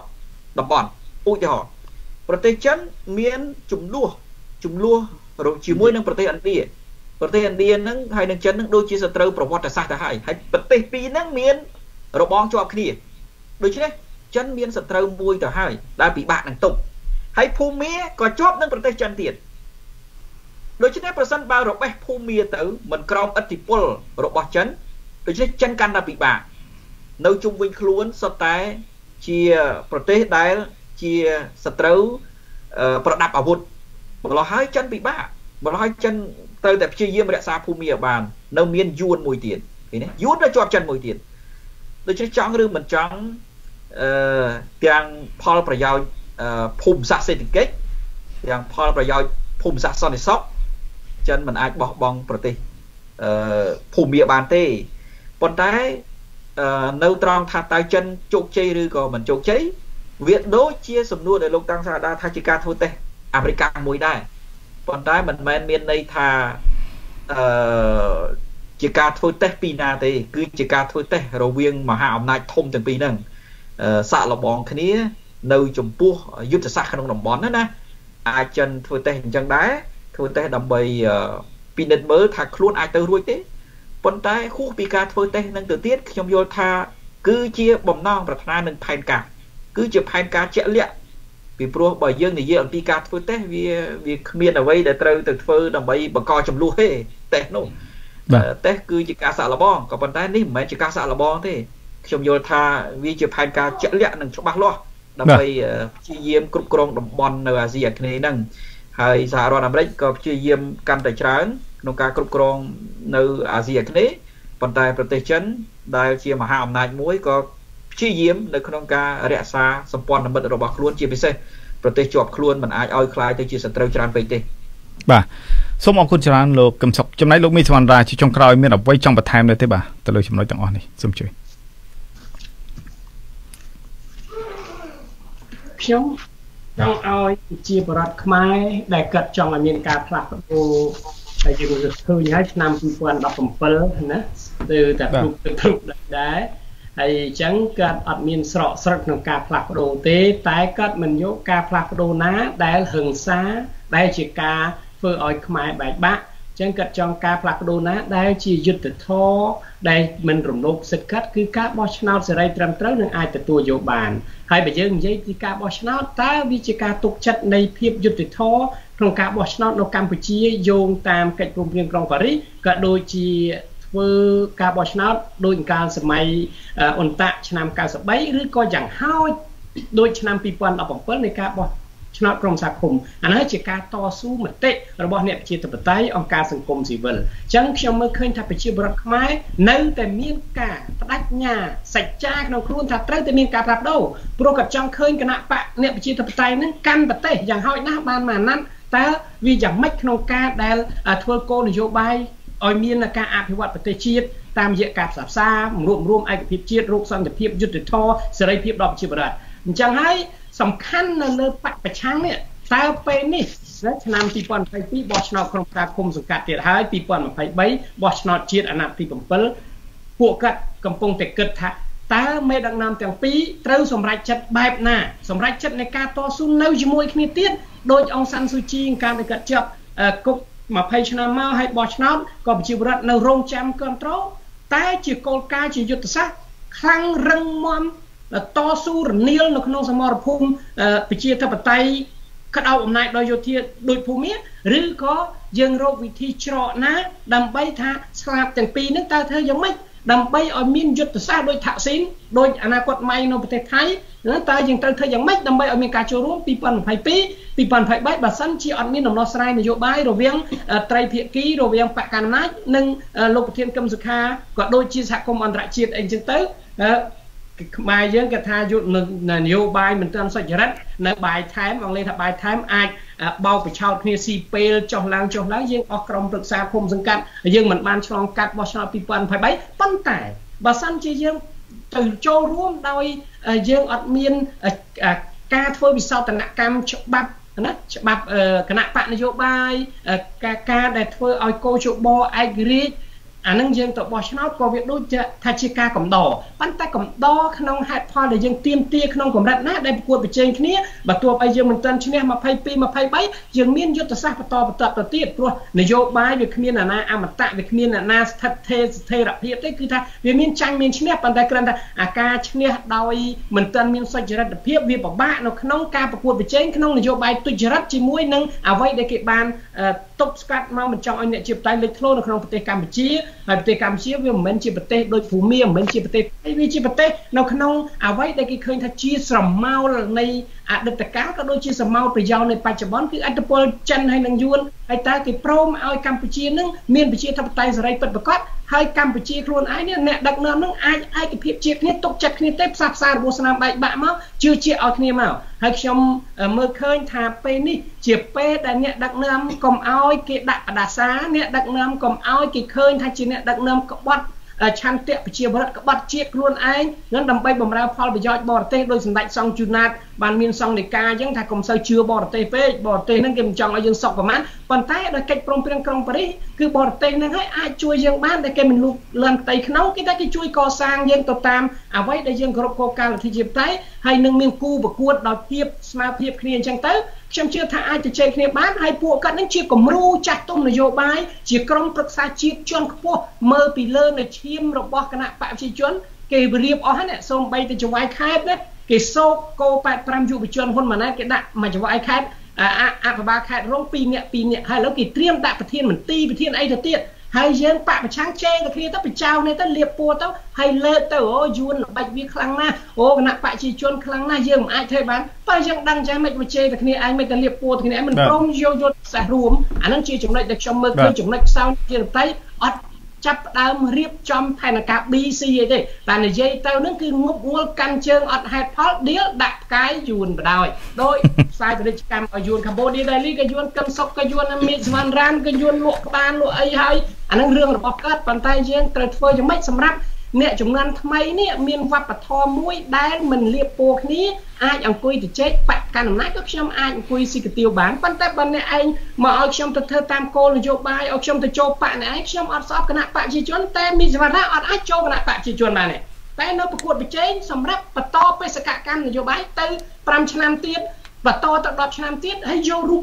មន្ត formula ហ្នឹងទុកឲ្យអ្នកជំនាន់ក្រោយហ្នឹងគេធ្វើតយ៉ាងទៅយើងកុំថាំងអញធ្វើនយោបាយបើអញមិនទាន់បានកាន់ប្រទេសផងអញនំអញស៊ីបើជ្រុះអញមិនរឹសមកឲ្យអាណាស៊ីទេអញញីចោលអាហ្នឹងបើធ្វើធ្វើនយោបាយអញ្ចឹងអាហ្នឹងប្រទេសជាតិវារលាយទៅឲ្យឆាប់ទៅក៏វាល្អដែរបើខ្ញុំនៅខាងបាត់ដំបងថៃយកទៅខ្ញុំនៅខាងថៃកាន់សាសនាពុទ្ធស្បែកដូចគ្នាបើអ្នកនៅខាងទន្លេមេគង្គទៅខាងយួនអាសាសនាមិនប្រកបអាភាសាក៏មិនមានអត្តសញ្ញាណក៏មិនកើតអាហ្នឹងមិនដឹងទេ អាមេគេហៅចៃមេក្រូតកូនក្រូតក៏ស្លាប់កូនចៃក៏ស្លាប់អាហ្នឹងមិនដឹងធ្វើម៉េចអាហ្នឹងកម្មកម្មពីឬក៏សុខសន្តិភាព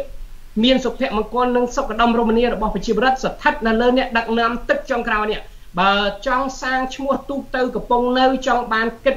គេឈ្មោះនឹងកិត្តិយស ទោះបីយើងកន្លងមកត្រូវមានការរិះគន់ថាបានពុករលួយបានធ្វើឲ្យជាតិវាខ្ទេចខ្ទាំអស់ហើយមានបានដោយសារតែឈប់ស៊ីអង្គកំប៉ុងឈប់ដេកប្រៃហើយមកដល់ឥឡូវហើយនៅលោភលន់ទៀតអាត្មានិយមទៀតអានឹងកម្មពៀវានឹងដាក់បដាសាបន្តអញ្ចឹងទៅប៉ុន្តែយើងកាន់ពុទ្ធសាសនាយើងអត់ចង់ឲ្យមានការសងសឹកយើងចង់ឲ្យមានការតជែកគ្នាផ្ដល់ការទុកចិត្តឲ្យគ្នាទៅហើយអ្នកដែលតស៊ូមកចាស់ចាស់ហ្នឹងក៏គាត់អាចជួយជាតិបានក្នុងកម្រិតណាគាត់ធ្វើអំពើល្អចុងក្រោយទៅពួកមនុស្សយើងមកមកខ្លួនទៅវិញមកខ្លួនសូម្បីគេដុតទៅដាក់កាក់ដាក់មាសដែរវាអត់ទៅជាមួយទេវាបានតែមកឆ្អឹកមកទៀតហ្នឹងអញ្ចឹងធ្វើអំពើល្អហើយទៅជែកគ្នាទៅនេះដំណាក់កាលចុងក្រោយនេះគឺថាខ្ញុំជឿថាកម្ពុជាបើចេះឆ្លាតគឺថាធ្វើឲ្យផ្ទុយពីភូមិ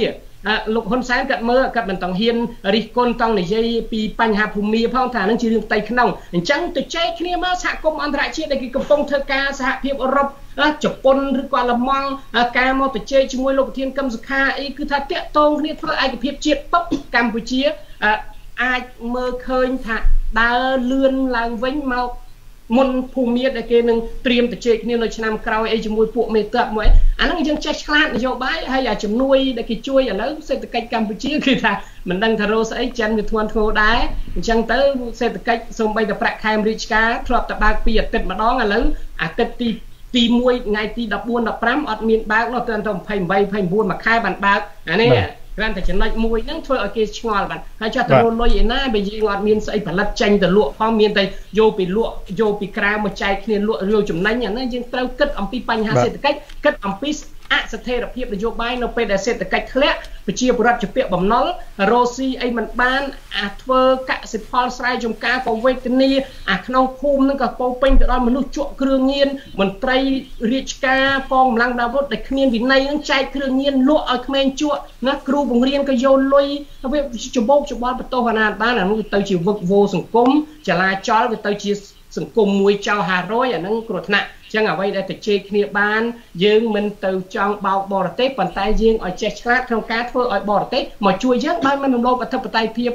ឯករាជ្យភាពបូរណភាពទឹកដីបាទសូមអរគុណតែប៉ុណ្ណឹងបាទអរគុណច្រើនលោកមីសវណ្ណរានិងលោកកឹមសុខ